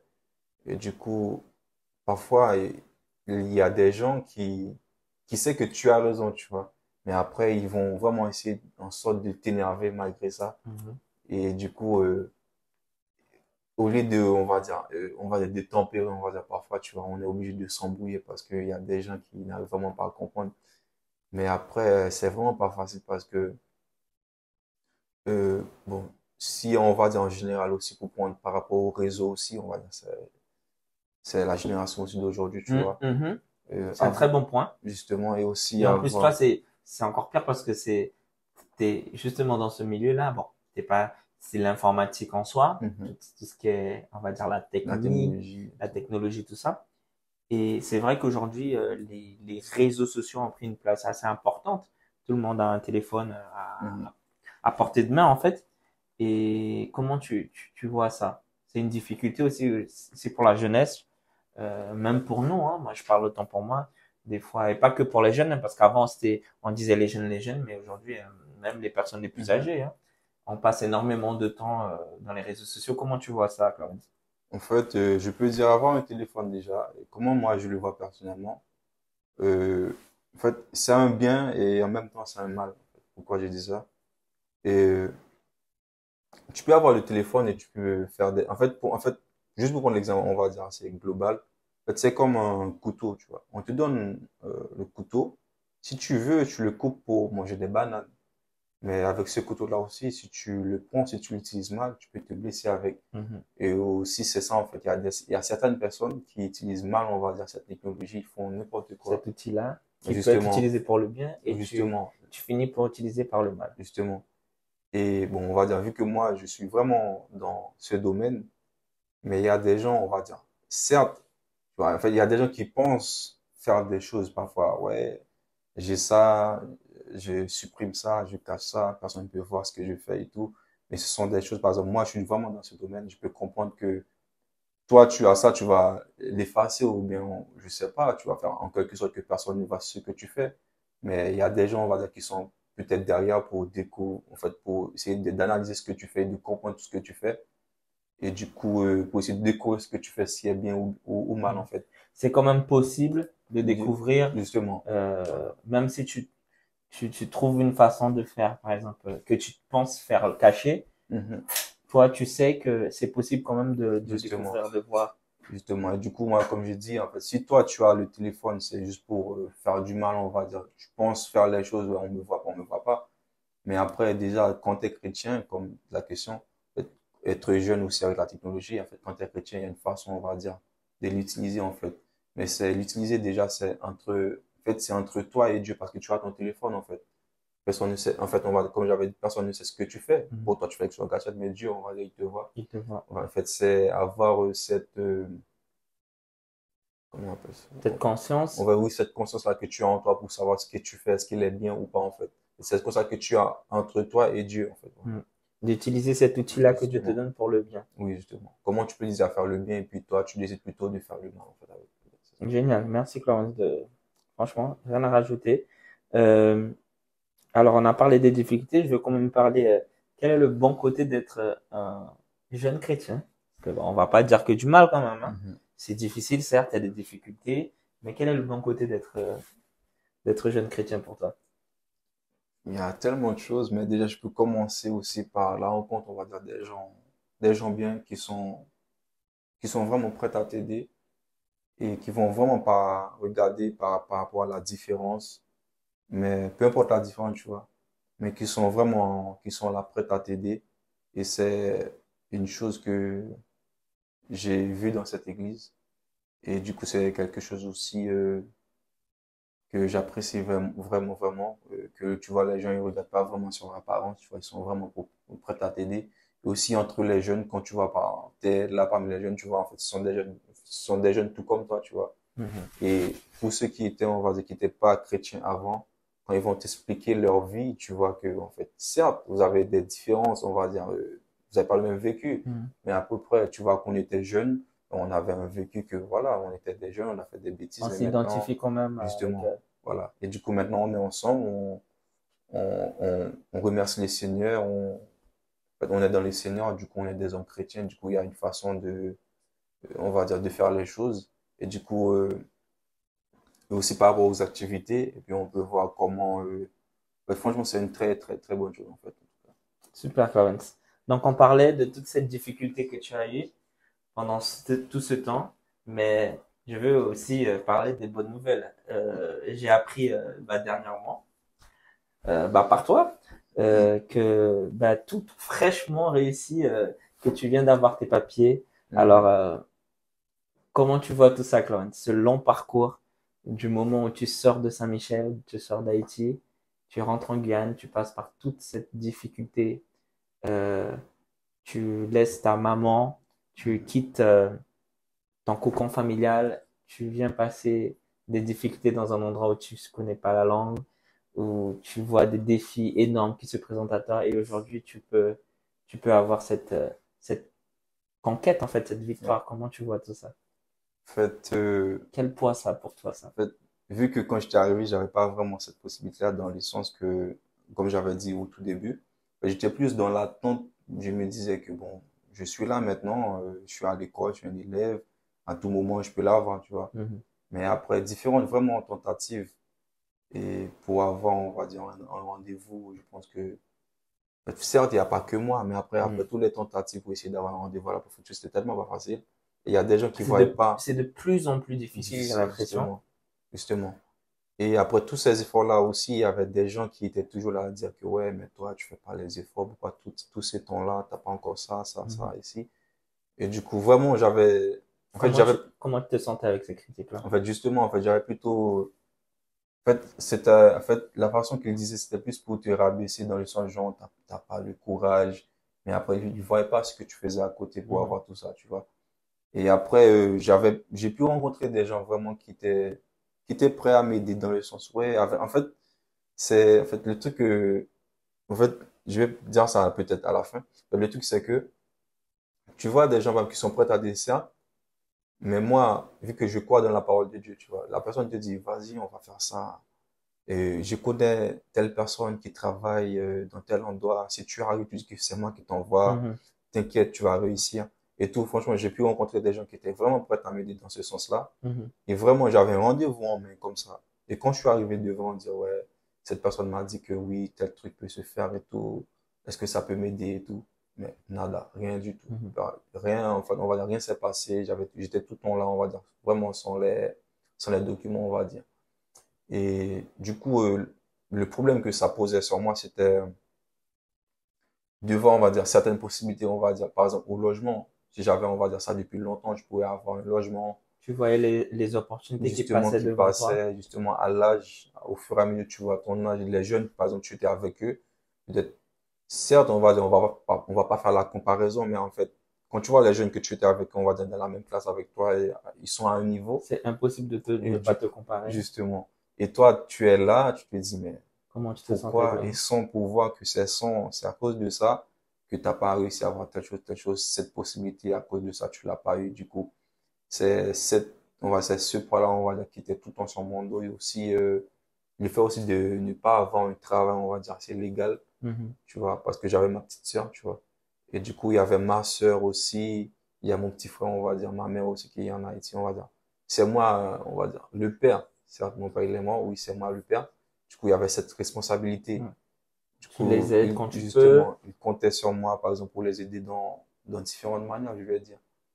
Parce- Parce que ma mère, elle est malade, parfois elle a besoin de moi, et parfois elle va pas vraiment demander, ouais, j'ai besoin de ci, je veux, je veux ça.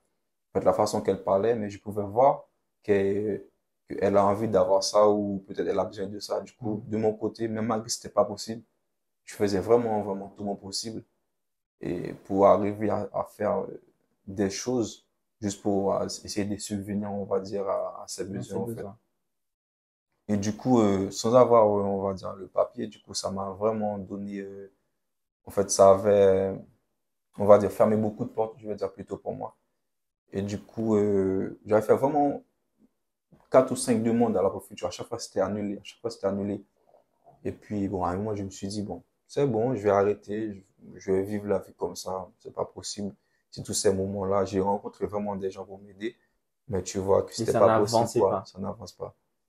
Et puis, euh, quand je suis arrivé, euh, on va dire, chez Tadi Suzy, notre leader, et du coup, euh, elle m'a demandé pour les papiers, ça se passe comment, pour le travail, comment tu fais pour vivre et tout? Quand je lui ai expliqué un peu, il m'a dit, mais t'inquiète, on va monter un dossier au nom de Jésus, ça va se faire. Et c'est ça que j'avais dit tout à l'heure. En fait, le truc que je voulais ajouter, c'est que ce jour-là, euh, dire, elle a dit au nom de Jésus, ça va se faire. Et là, je me suis dit, bon, là, je dois avoir cette confiance-là. Mhm. Et du coup, on a fait le dossier. Il a dit, Clarence, ça va se faire, t'inquiète pas. Il a vraiment, t'inquiète pas, parce que je lui ai vraiment tout expliqué, tout ce que j'ai fait, parce qu'en fait, j'avais plus d'espoir là, vraiment, d'avoir, on va dire, ce rendez-vous-là, tu vois. Mhm. Et elle m'a dit, Clarence, t'inquiète pas, ça va tenté. se faire. Voilà, vraiment tout. Et puis, euh, en sachant, en fait, à un moment, il fallait envoyer une lettre et pour avoir le rendez-vous à la préfecture. À un moment, je faisais la lettre, je n'envoyais jamais, jamais de réponse.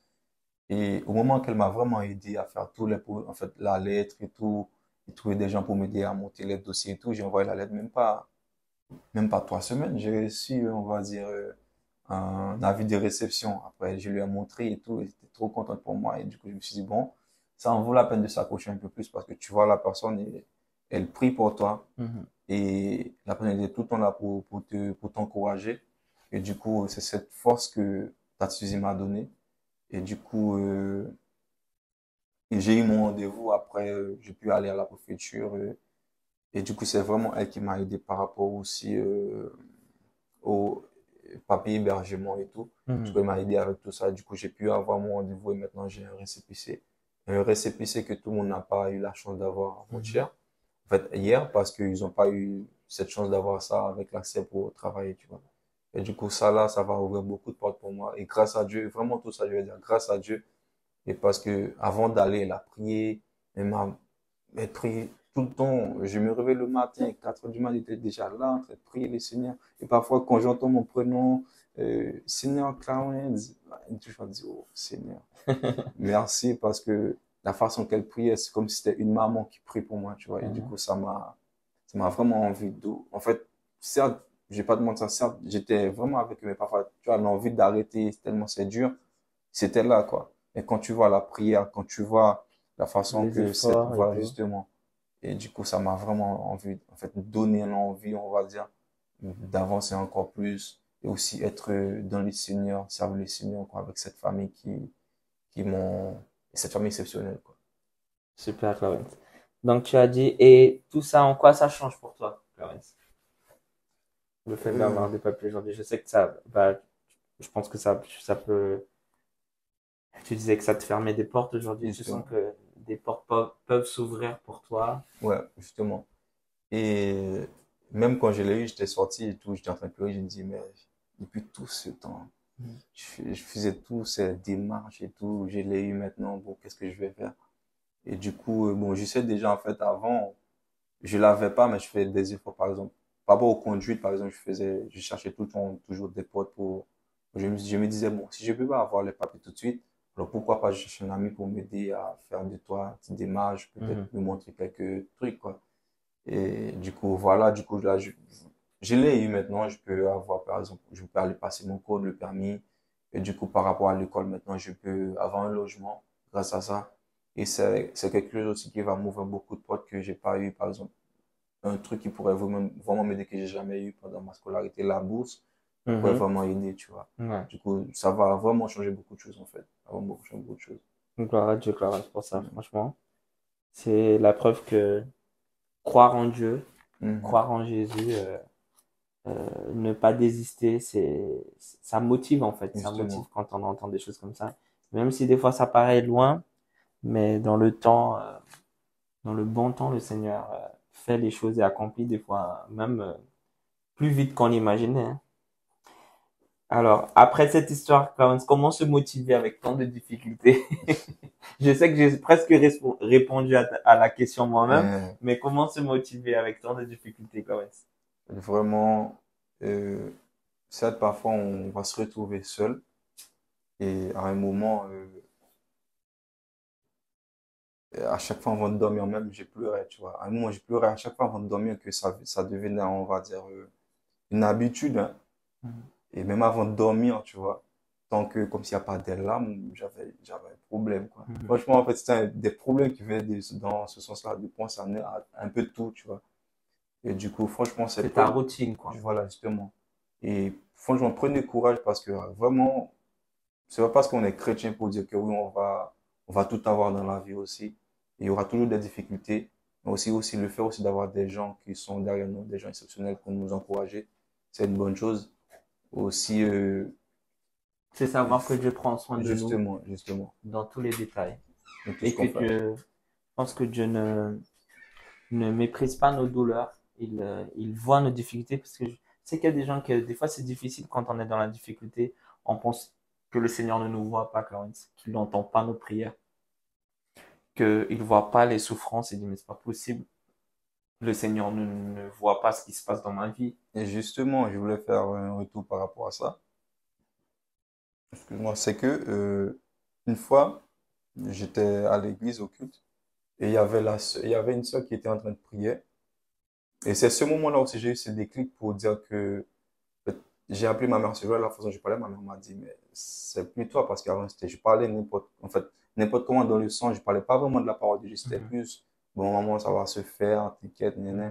Mais après, mais dans le sens de venir, de parler maintenant avec la parole de Dieu, donner plus, cette envie-là, l'encouragement avec la parole de Dieu, ça a aidé ma mère, on va dire, à avoir plus de courage, en fait. Pourquoi je dis ça? Parce que, par rapport à ce que tu viens de dire, parce que quand j'étais arrivé à l'église, il y avait, il y avait une sœur qui avait eu cette opportunité. Et la sœur a comment, en fait, pendant tout début du culte, j'ai pensé à des choses, mais vraiment qui, qui étaient vraiment négatives. La façon comme si j'ai envie vraiment de tout arrêter, j'ai envie de tout abandonner. J'ai pleuré ce jour-là. Et puis, pendant que j'étais devant, on va dire, en fait, j'étais assis, et puis, là, pendant la parole, puis à la fin de la parole, la sœur, elle a chanté. Et du coup, j'étais, elle a, en fait, elle parlait en portugais, mais en même, il y avait la traduction. Elle a dit à tel frère, en fait, elle ne me connaissait pas, elle m'a dit de passer devant. Elle a prié pour moi. Et sur le coup, je comprenais pas ce qu'elle dis, ce qu'elle disait parce que bah, je venais d'arriver, je ne Mhm. comprenais pas le portugais, le, le traducteur, il n'avait pas vraiment le temps de traduire et tout. Mhm. Et à la- vraiment, elle était en train de prophétiser, on va dire. Elle était en train de prophétiser sur moi et tout. Après, à la fin, j'ai demandé euh, à, au frère Gabriel ce que la dame disait. hein. Mhm. Par curiosité, elle m'a dit, mais Clarence, c'est comme si tu avais parlé avec la dame parce que, en fait, là, tout ce que, on va dire, en fait, il m'a dit, voilà ce que la dame disait, voilà ce que la dame disait, mais, mais c'est impossible. Mhm. Mais comment ce sont des trucs, on va dire, j'ai jamais dit à personne. Que seul toi et Dieu. Comment, justement, justement, comment le soir avant de pleurer et tout, des questions, je posais Dieu, oui, tu m'abandonnes parce que pourquoi je fais tels efforts, tels efforts, j'ai pas de résultats. Et du coup, cette dame-là, elle est venue, là, elle disait toutes ces choses. C'est comme si j'étais venu comme ça avec la dame en train de parler, dire voilà mes problèmes, voilà mes problèmes. Comme si elle savait tout. Voilà, elle a prophétisé, elle disait vraiment beaucoup de choses que, voilà.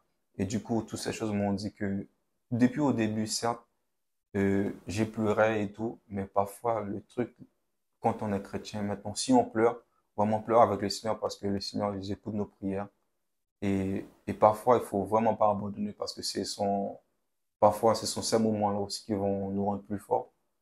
Parce que ces moments-là étaient vraiment, en fait, moi, vraiment, certes, j'étais pas vraiment à l'église et tout, mais vraiment, quand j'ai pleuré à ces moments-là c'est ces moments aussi, j'ai toujours demandé à Dieu pourquoi je fais tant d'efforts jusqu'à que j'ai jamais de réponse. Pourquoi je peux faire ceci? Pourquoi, certes, je faisais vraiment la comparaison, mais pourquoi un tel, mais pourquoi moi je fais ça? J'ai pas eu de réponse. Et ce jour-là, la sœur, elle a pu dire toutes ces choses que j'ai jamais dit à la soirée, tu vois. vraiment dit, jamais verbalisé. Justement. Elle m'a dit, Dieu écoute tes prières, Dieu il voit ceci, Dieu il voit ça et tout. Et du coup, ce jour-là, je me suis dit, oh mon Dieu, depuis ce jour-là, depuis tous ces temps, j'étais en train de pleurer tout seul et tout, tu étais là en train d'écouter mes prières. Mais pourquoi j'avais pas eu, on va dire, une réponse depuis avant, on va dire, pour arrêter, on va dire, mhm. c'est là, on va, dire, chaque soir et tout. Mhm. Et du coup, ce jour-là, la soeur m'a donner, on va dire, cette envie, en fait, cette envie, on va dire, d'être, en fait, d'être motivé, d'être resté franchement dans l'esprit encore plus, parce que faut vraiment, en fait, comme tu as en fait la question, comme, faut vraiment pas désister, surtout quand on est dans les seigneurs, quand on, est des serviteurs, il faut, faut prier les seigneurs, il faut toujours, même si parfois on est découragé, faut chercher des gens pour nous aider. Il y a toujours des leaders à l'église. Il y aura peut-être, il y aura toujours un pasteur à l'église qui sera toujours là en train d'écouter et prier avec toi. Et tout ça, ce sont des choses, on va qui vont te donner de la motivation pour rester encore, encore plus fort spirituellement aussi. Amen. N'abandonnez pas, les guys. N'abandonnez pas. Il y aura toujours quelqu'un que Dieu va lever pour nous aider dans notre chemin. Je sais que, je sais parce que je le dis, moi, quand il y a eu, quand j'ai eu des moments noirs aussi, j'ai eu toujours, euh, quelqu'un que Dieu a mis dans mon chemin pour, pour, me donner une parole de motivation. J'ai pas passé la moitié de ce que tu as passé, hein, Clarence. Je vais être euh, sincère. Et je sais pas euh, si j'aurais été aussi fort que toi, mais des moments noirs et des moments difficiles, on en a tous. Et on a besoin euh, d'un soutien, d'une voix. Des fois, ça a été mes parents, des fois, ça a été une sœur, un frère, un jeune, quelqu'un autour de moi. Dieu a toujours utilisé quelqu'un pour me remotiver, pour me mettre dans les rails de, de la vie. Et du coup, tu disais que à l'époque, tu comprenais rien. Et quel est maintenant ton, ton contact avec la langue Est-ce que tu sens que tu étais amélioré dans le portugais? Est-ce que tu te lances déjà dans les phrases? Bon, avant, je savais même pas comment. Vraiment, avant, je savais même pas comment dire bonjour en portugais. Moi, rien du tout. Le portugais, c'était toujours euh, un, un tch, Après, tu vois, il me disait, mais comment il faisait pour parler comme ça? Mais au fur et à mesure, tu voyais comment euh, il faisait pour parler. Du coup, euh, là, tu comprends un ouais, petit en fait, oui, je comprends un petit peu. bon, avant, c'était tout le temps, les gens faisaient traduction pour moi. Mais ça m'embêtait un peu, tu vois. Il y a tout le monde qui parle portugais, il y a que moi, quelqu'un était là en train de faire la, traduction. C'était un peu embêtant. Et du coup, là, je commence à comprendre, franchement, j'aime bien. Et du coup, le temps aussi de passer avec, euh, dans la famille, avec ta Suzy il parle que le portugais, du coup, ça m'a aidé encore plus. Moi, je disais, bon, faut pas parler le français même, parce que j'apprends un peu plus. Ouais. Et du coup, aussi avec les chants, avec les chants, j'ai grave écouté les chants parfois à la maison. Et pour, on va dire, en fait, parfois on dit que la langue, parfois, il faut écouter. Et puis, au fur et à mesure, tu commences à écouter, tu commences à comprendre, après, tu vas commencer à parler. Bon, certes, je commence, en fait, je comprends un peu. Ouais. Certes, peut-être l'accent, il n'est pas vraiment ah, au top, mais je comprends un peu. Ça, ah faut plus parler mal de Clarence en portugais. Hein. Il, va, il va comprendre. Hein. Bon, je, je comprends. je vous dis ça. Hein. Bon, ben Clarence, on arrive à la fin euh, de cette interview. Et ça a été super de découvrir ce côté que moi-même je connaissais pas. Et en parlant de d'événements, ben, on a un événement euh, ce dimanche, euh, le 10 mars. Je sais pas à quel moment ça va sortir cette vidéo, mais bon, peut-être que ça sera déjà passé certainement, hein, l'équipe. Mais le 10 mars, on a une, une programmation ici sur Kourou, ça sera chez mhm. nous. On reçoit euh, toutes les congrégations, toutes les églises euh, de la DDI pour une grosse journée où il y aura euh, Sainte Seine, cuite de mission. on va manger tous sur place, donc il y a une grosse organisation qui se fait. on est bien motivé et, on, on, sent déjà la fatigue rien que d'y penser. L'équipe de mission force à nous parce qu'on fera des ventes, etc., etc. Et alors, comment, comment tu vois cette journée, Est-ce qui s'approche? On s'est préparé, on va, on va chanter tous les, tous les chorales, medley, tous les jeunesse, d'où la, toutes les chorales de, de la, de l'église vont chanter et vont s'unifier. En fait, toute Mhm. la jeunesse ADD va s'unifier. On va chanter des chants communs. Et comment tu vas, bah, d'ailleurs, on a répété tout à l'heure quelques chants. Ok, oui, ça va. Comment tu, comment tu vois cette, cette journée qui s'approche? Bon, en fait, avant, en fait, ça fait deux, trois jours, je savais pas, en fait, je savais pas. C'est quand euh, Tatuzi m'a envoyé un message qui me dit, ouais, Clarence, en fait, il y aura, euh, C'est la première fois sur Kourou, ouais. Oui, justement, elle m'a dit, il y aura un événement à l'église, tu dois choisir un plat. Je bon, je sais pas est-ce que je vais rester ce week-end, mais choisir un plat, mais pourquoi, tu vois? Mhm. Après, c'est après, tout à l'heure là, pendant qu'elle était en train de parler, je dis, ah bon, c'était pour euh, l'événement, et du coup, euh, ben, c'est un événement, on attend avec impatience, hein. Ben, je vois déjà, on va dire, les préparations, déjà la répétition, on voit déjà les chants et tout, c'est un moment où on attend avec impatience, parce que on attend l'Esprit de Dieu aussi qui va toucher les cœurs, qui va toucher les gens, quoi. Mhm. Comme d'habitude, mais encore, encore plus intense, Ouais. avec plus de solidarité, plus de, on va dire, plus, Une journée de communion aussi parce qu'on va, on va rester toute la journée ensemble, hein, ensemble. super, hein. On est, on est animé parce que ça va être compliqué euh, pour aller se doucher. Donc on, on vous promet rien. hein. On va, on va mettre quand même euh, déodorant deux fois plus quand même au cas où. Ça va être super quand même, ça va être super. Mais au nom de Jésus, ça va être super. Ouais. C'est toujours bien de passer. euh, la parole de Dieu dit, euh, je sais pas en français, or, or qu'on suave et qu'on bon que nous vivons en union. Donc, euh, oh, qu'il est bon que les frères euh, Vivent en union, en union, ensemble, en communion. Et je remercie le Seigneur parce que dans mon église, dans cette église où le Seigneur m'a planté, où m'a fait grandir, j'ai, toujours, euh, on a toujours eu ce- cette communion. On a, on peut compter les uns sur les autres. Je sais que je peux avoir des frères et des sœurs pour moi. Et, et c'est pas dans toutes les églises, on croit que, que oui, mais en fait, euh, c'est pas dans toutes les églises où on a cette communion, cette, euh, cette union, Les activités vraiment, entre les jeunes et les tout, activités vraiment- entre les jeunes où on peut se compter les uns sur les autres, vraiment. Et du coup, euh, en fait, c'est quelque chose aussi, euh, on va dire, qui, qui vont maintenir, on va dire, les jeunes à rester ensemble parce que, et avant, il y a des églises comme, on va pas citer les noms, mais après, il y a des églises, c'est vraiment, on est là le dimanche, mais après, euh, tout le monde va chez eux, après, c'est bon, Mm. on attend le dimanche, après, on va se Ouais. rencontrer et tout. Mais là, le fait qu'il y a cette communion, on va dire, cette, on va dire, cette tête ensemble, Mhm. qu'on est là et à la fin du culte, on est là, on mange ensemble, c'est, c'est quelque chose de très, on mange beaucoup dans cette église. N'est-ce pas? On mange beaucoup dans cette église. C'est difficile, hein, de, je sais pas comment Clarence fait pour, pour être, euh, avoir ce corps euh, de rêve, parce que moi, euh, c'est compliqué. Il faut courir beaucoup, hein. Moi, je Ah. dis. Parce que dans cette église, on mange ensemble, hein. Maman, on mange ensemble. Mais grâce à Dieu pour cela, comme Clarence disait, je remercie le Seigneur parce que je dis tout le temps ça aux jeunes.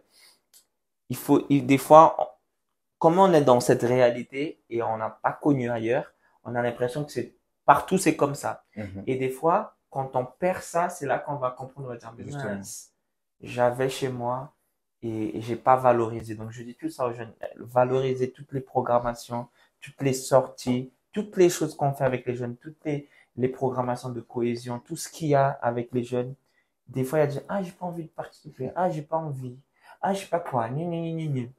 Et on, en parlait avec Bia parce que Bia était un invité aussi et il disait en France, qu'appeler hein, parce que c'est difficile, c'est pas facile de trouver, il a Pas pas retrouvé, il n'y a pas d'activité. Les lieux, on va dire, qui sont proches. Voilà, euh, c'est chacun dans, dans sa bulle, dans une réalité. Donc, c'est vraiment difficile. Et quand tu, tu vois dans un autre doigt et tu, et tu vois cette nouvelle réalité, c'est difficile. Tu te dis, mince, j'aurais dû profiter plus quand j'étais là-bas. Vraiment. justement. Bah, on passe aux questions de, du groupe pour Clarence. Alors, il faut que je retrouve, hein, Clarence. hein. J'attends. Tac, tac, tac, tac, tac. Elles sont là. Donc, la première question. Euh, quelle a été la première fois que tu as entendu Dieu te parler, Clarence? C'est spécifique, hein? Tu te rappelles, Clarence? La première fois, La vraiment. première fois que tu as entendu Dieu te parler. La première fois, celui-là qui m'a fait vraiment pleurer. Et je sentais, on va dire, jusqu'à présent, hein, jusqu'à présent, hein, cette puissance, c'était vraiment la fois que la sœur avait prié pour moi. Et la fois, vraiment, elle a vraiment pu dire des choses que vraiment j'ai jamais racontées aux gens. Et c'est ce moment-là vraiment qui m'a toujours marqué. C'est ce moment-là que j'ai toujours dit, mais merci Seigneur, parce que je sais pas si tout le monde a cette chance-là, mais de, de rencontrer quelqu'un qui va te dire des choses. En fait, Aussi il y avait- précises. Justement, il y a que toi qui le sais, Ouais. tu vois. Et du coup, ça m'a vraiment marqué. Je pense que c'est ce jour, en fait, Moi, c'est ce m- ça jour-là m'est déjà arrivé aussi. que hein. Dieu m'a vraiment parlé, il m'a donné des réponses. Amen. La, deux- la deuxième, la deuxième question, pardon. Euh, Est-ce que tu sais quel est ton ministère? Au, au sein de, au sein de la, du ministère, enfin de l'église? Qu'est-ce, que tu, tu sens déjà euh, ta voix? Tu sais, tu sais que ta voix, ton métier, c'est l'informatique. Est-ce que tu sens que ta voix déjà dans le Seigneur est tracée? Qu'est-ce que tu, Euh, comment tu te vois? En fait, je peux pas, comment dire, je peux pas vraiment me projeter à l'avenir d'un coup comme ça, en fait, surtout pendant, avec la parole de Dieu. Parce qu'on peut dire que moi, je veux être ça, mais Dieu, il avait déjà, un, même, dans le milieu professionnel, mais Dieu, il a déjà peut-être, j'ai envie de devenir, on va dire, un informaticien, on va dire, dans la cybersécurité, Mhm. mais Dieu, c'est pas ça qu'il veut. Et même aussi pour le milieu, on va dire, euh, la, chrétienne, on va dire, à l'église, peut-être, j'ai envie de dire peut-être demain, je veux être peut-être, je vais pas dire pasteur parce que je sais pas, mais peut-être quelqu'un qui, qui est responsable du son Ouais. ou, ou autre chose. Mais après, je peux pas dire ça comme ça parce que c'est Dieu qui sait. Mais au fur et à mesure que je suis là, je peux avoir cette intégration, par exemple. Là où je suis portier, je suis très content, je suis portier à cette Ah bah oui, en plus, hein. Quand c'est portier, hein. portier de cette église. Du coup, je pense déjà ça, c'est déjà un pas pour moi Déjà une responsabilité. Voilà. Bah écoute, c'est, deux choses qui peuvent marcher ensemble, hein. Mhm. être informaticien euh, en cybersécurité et être autre chose, c'est deux choses qui peuvent marcher ensemble. hein. Mhm. Moi, je je vois aucun problème. Des fois, on a l'impression qu'on peut être que, que quelque chose à l'église et nul ailleurs. hein. Euh, comment ta famille a réagi quand ils ont su que tu servais le Seigneur ici? Et comment répondre? En fait, déjà, euh, ma mère, en fait, j'ai, c'est pas toutes les choses, on va dire, que j'ai pu dire à ma mère, parce Uh-huh. qu'il y a parfois, parfois dans la tête de ma mère, j'allais tout le temps à l'église le dimanche, mais pourtant, j'allais pas. Ouais, en fait, j'étais en train de mentir, hein, parfois. Ouais. Ouais, quand- en fait, en fait, j'avais plus la possibilité de parler avec ma mère le dimanche, parfois. Ouais. Et quand elle m'appelle, elle me dit, ouais, tu étais à l'église? Je dis, oui, j'étais à l'église. Pourtant, je suis chez moi, j'étais avec les amis, j'étais pas à l'église. Et du coup, au moment même que j'ai dit à ma mère que voilà la famille que j'ai pu rencontrer, voilà une prière qu'une sœur a fait pour moi. Et voilà comment ça s'est passé jusqu'à présent. Voilà comment ça se passe. Je suis à l'église. Et bon, à l'époque, tu pouvais venir dans mon téléphone, tu voyais des, des photos avec des gars et tout, Mhm. des trucs. Maintenant, si tu vois des photos, c'est plus costal et tout. Franchement, c'est, c'est quelque chose de très bien. Mon l'église. Mon l'église. hein. Et du coup, c'est une très bonne chose, hein. Mon franchement, c'est une très bonne chose. Et maintenant, quand je vois les photos à ma mère, elle voit maintenant, je suis à l'église. Ah oui, vous semblez avec papa, hein. Et du coup, euh, merci les seigneurs parce que, voilà. Et merci les Vous avez compris? parce que, Vous avez compris? Hein? Sont fatigués, les pauvres. On continue. Euh, donc, de tous les moments de ta vie, quel a été le moment le plus dur que tu as affronté quand même, jusque-là? Que tu te rappelles, t'as dit, moi, moi, ce jour-là, ou ce moment-là? en fait, le plus dur, c'est, en fait, le moment, on va dire, que je voulais vraiment tout abandonner, que j'avais vraiment plus d'espoir, on va dire, de rester en Guyane. Et c'était là aussi le moment, on va dire, que je voulais prendre cette décision, on va dire. Soit vraiment, je suis du monde, vraiment, ou soit euh, je, je prends cette décision de, de suivre les Seigneurs, en fait. C'était le moment où je me suis trouvé, on va dire, en, on va dire, en garde à vue. Et c'est, en fait, à ce moment-là, je me voyais plus en Guyane, on va dire. Je me voyais plutôt parce que c'est l'époque aussi, je me trompe pas, si on t'arrête, on, on t'envoie directement en Haïti. Du coup, c'est à ce moment-là aussi, j'ai dit, bon, Seigneur, c'est soit que je suis en Guyane et puis je vais chercher un moyen de servir le Seigneur et de- en fait, comme j'avais dit, de, de me donner, euh, on va dire, de mettre à travers de mon chemin des gens parce que faut- par- parfois, tout seul, on peut pas y arriver, tu vois. Parfois, Mhm. c'est mieux, par exemple, on a des gens derrière nous pour nous aider. J'avais demandé à Dieu ce- cette chose-là. Et du coup, je pense que c'est ce moment-là vraiment qui, qui était vraiment difficile parce que je me voyais plutôt plus en Guyane plutôt. Tu vois, je me voyais pas en Guyane, mais plutôt en Haïti parce que j'avais plus de, cet espoir-là de me retrouver encore, euh, on va dire, de sortir et Mhm. puis être ici comme ça, tu vois. Et t'as parlé de ça, tu n'as pas dit euh, qu'est-ce qui s'est passé finalement, ils t'ont libéré, qu'est-ce qui s'est passé? En fait, euh, quand j'ai montré ce jour-là, je les ai montré mais, mon passeport. En fait, mon tonton, on va dire, il était venu avec mon passeport. Parce qu'à cette époque-là, si, si t'es venu avec ton passeport, si tu leur montres ton passeport, c'est comme si tu leur donnes l'autorisation. Tiens, renvoie-moi dans mon pays, tu vois. Et du coup, comme mon tonton était venu avec le passeport, il voulait pas le donner. Et puis, c'est après beaucoup de temps, vers 17 heures, en fait, j'étais là-bas depuis vers 9 heures, je suis déjà en garde à vue là-bas. Du coup, c'était à peu près vers 18 heures, vers 19 heures. Bon, il y avait des gens aussi qui travaillaient. Après, mon tonton a donné le passeport et puis euh, ils m'ont ils m'ont laissé sortir parce que j'étais en fait j'avais les papiers étudiants. Ils disaient que ouais bon, je vais dire les mots qu'ils avaient dit. Ouais, on s'en fout que t'es étudiant et tout. Si t'es là, c'est que t'as pas tes papiers. Voilà quoi. On t'envoie dans ton pays. Et du coup, mon tonton voulait pas vraiment donner le passeport comme il avait dit.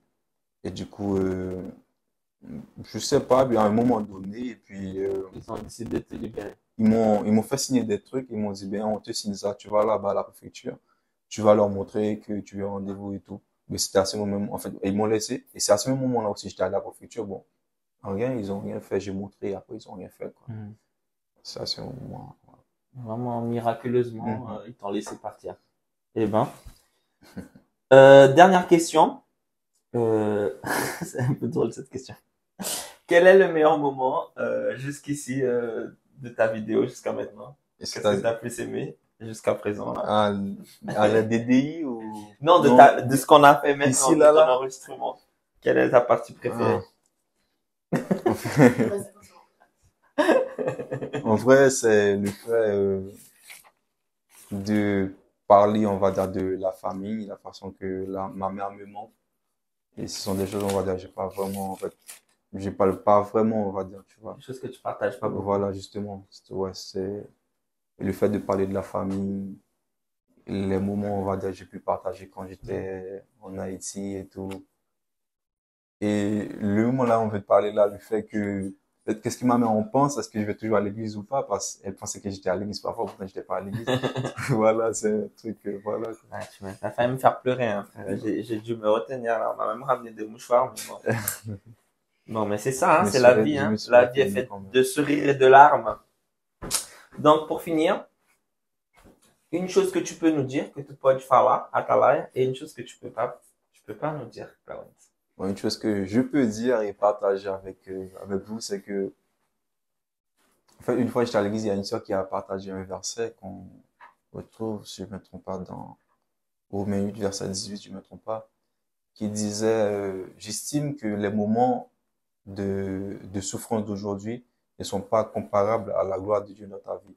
Et c'est quelque chose que, c'est un verset, moi, j'ai toujours fait en sorte de regarder à chaque fois pour ne pas oublier. Parce que je vois que les choses vraiment commencent. En fait, il y a des souffrances vraiment qui étaient vraiment dures.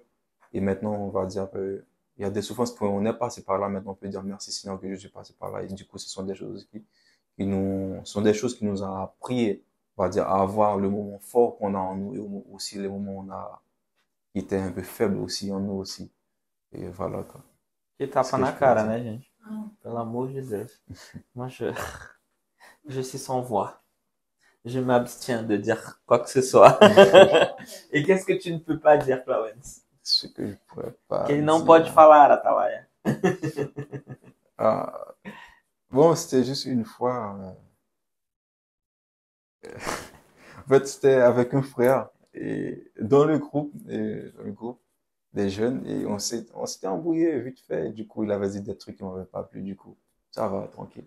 Dans le groupe, Oui, du coup, mais après, on s'est, on va pas dire qui c'est, bien on sûr. va pas dire ce que c'est. Mais après, mais après, on s'est compris. Mais maintenant, ça va, ça va maintenant. Amen. Bah, c'est ça, hein, vivre en communion. C'est pas tous les jours l'amour, hein, je peux vous dire. Hein. On vit en communion, mais il y a des jours difficiles, on a envie de s'arracher, Mhm. lâcher la tête, hein, n'est-ce pas? N'est-ce pas les jeunes hein?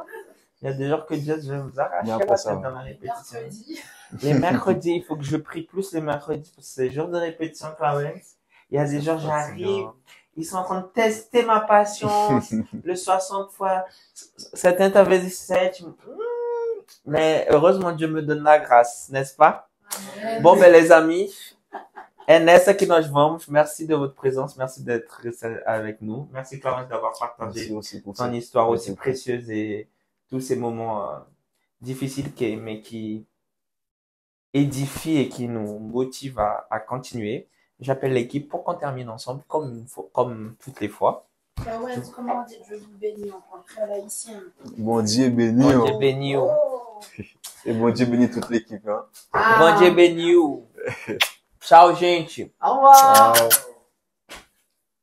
1h35. Restez là. Ah ouais, frère.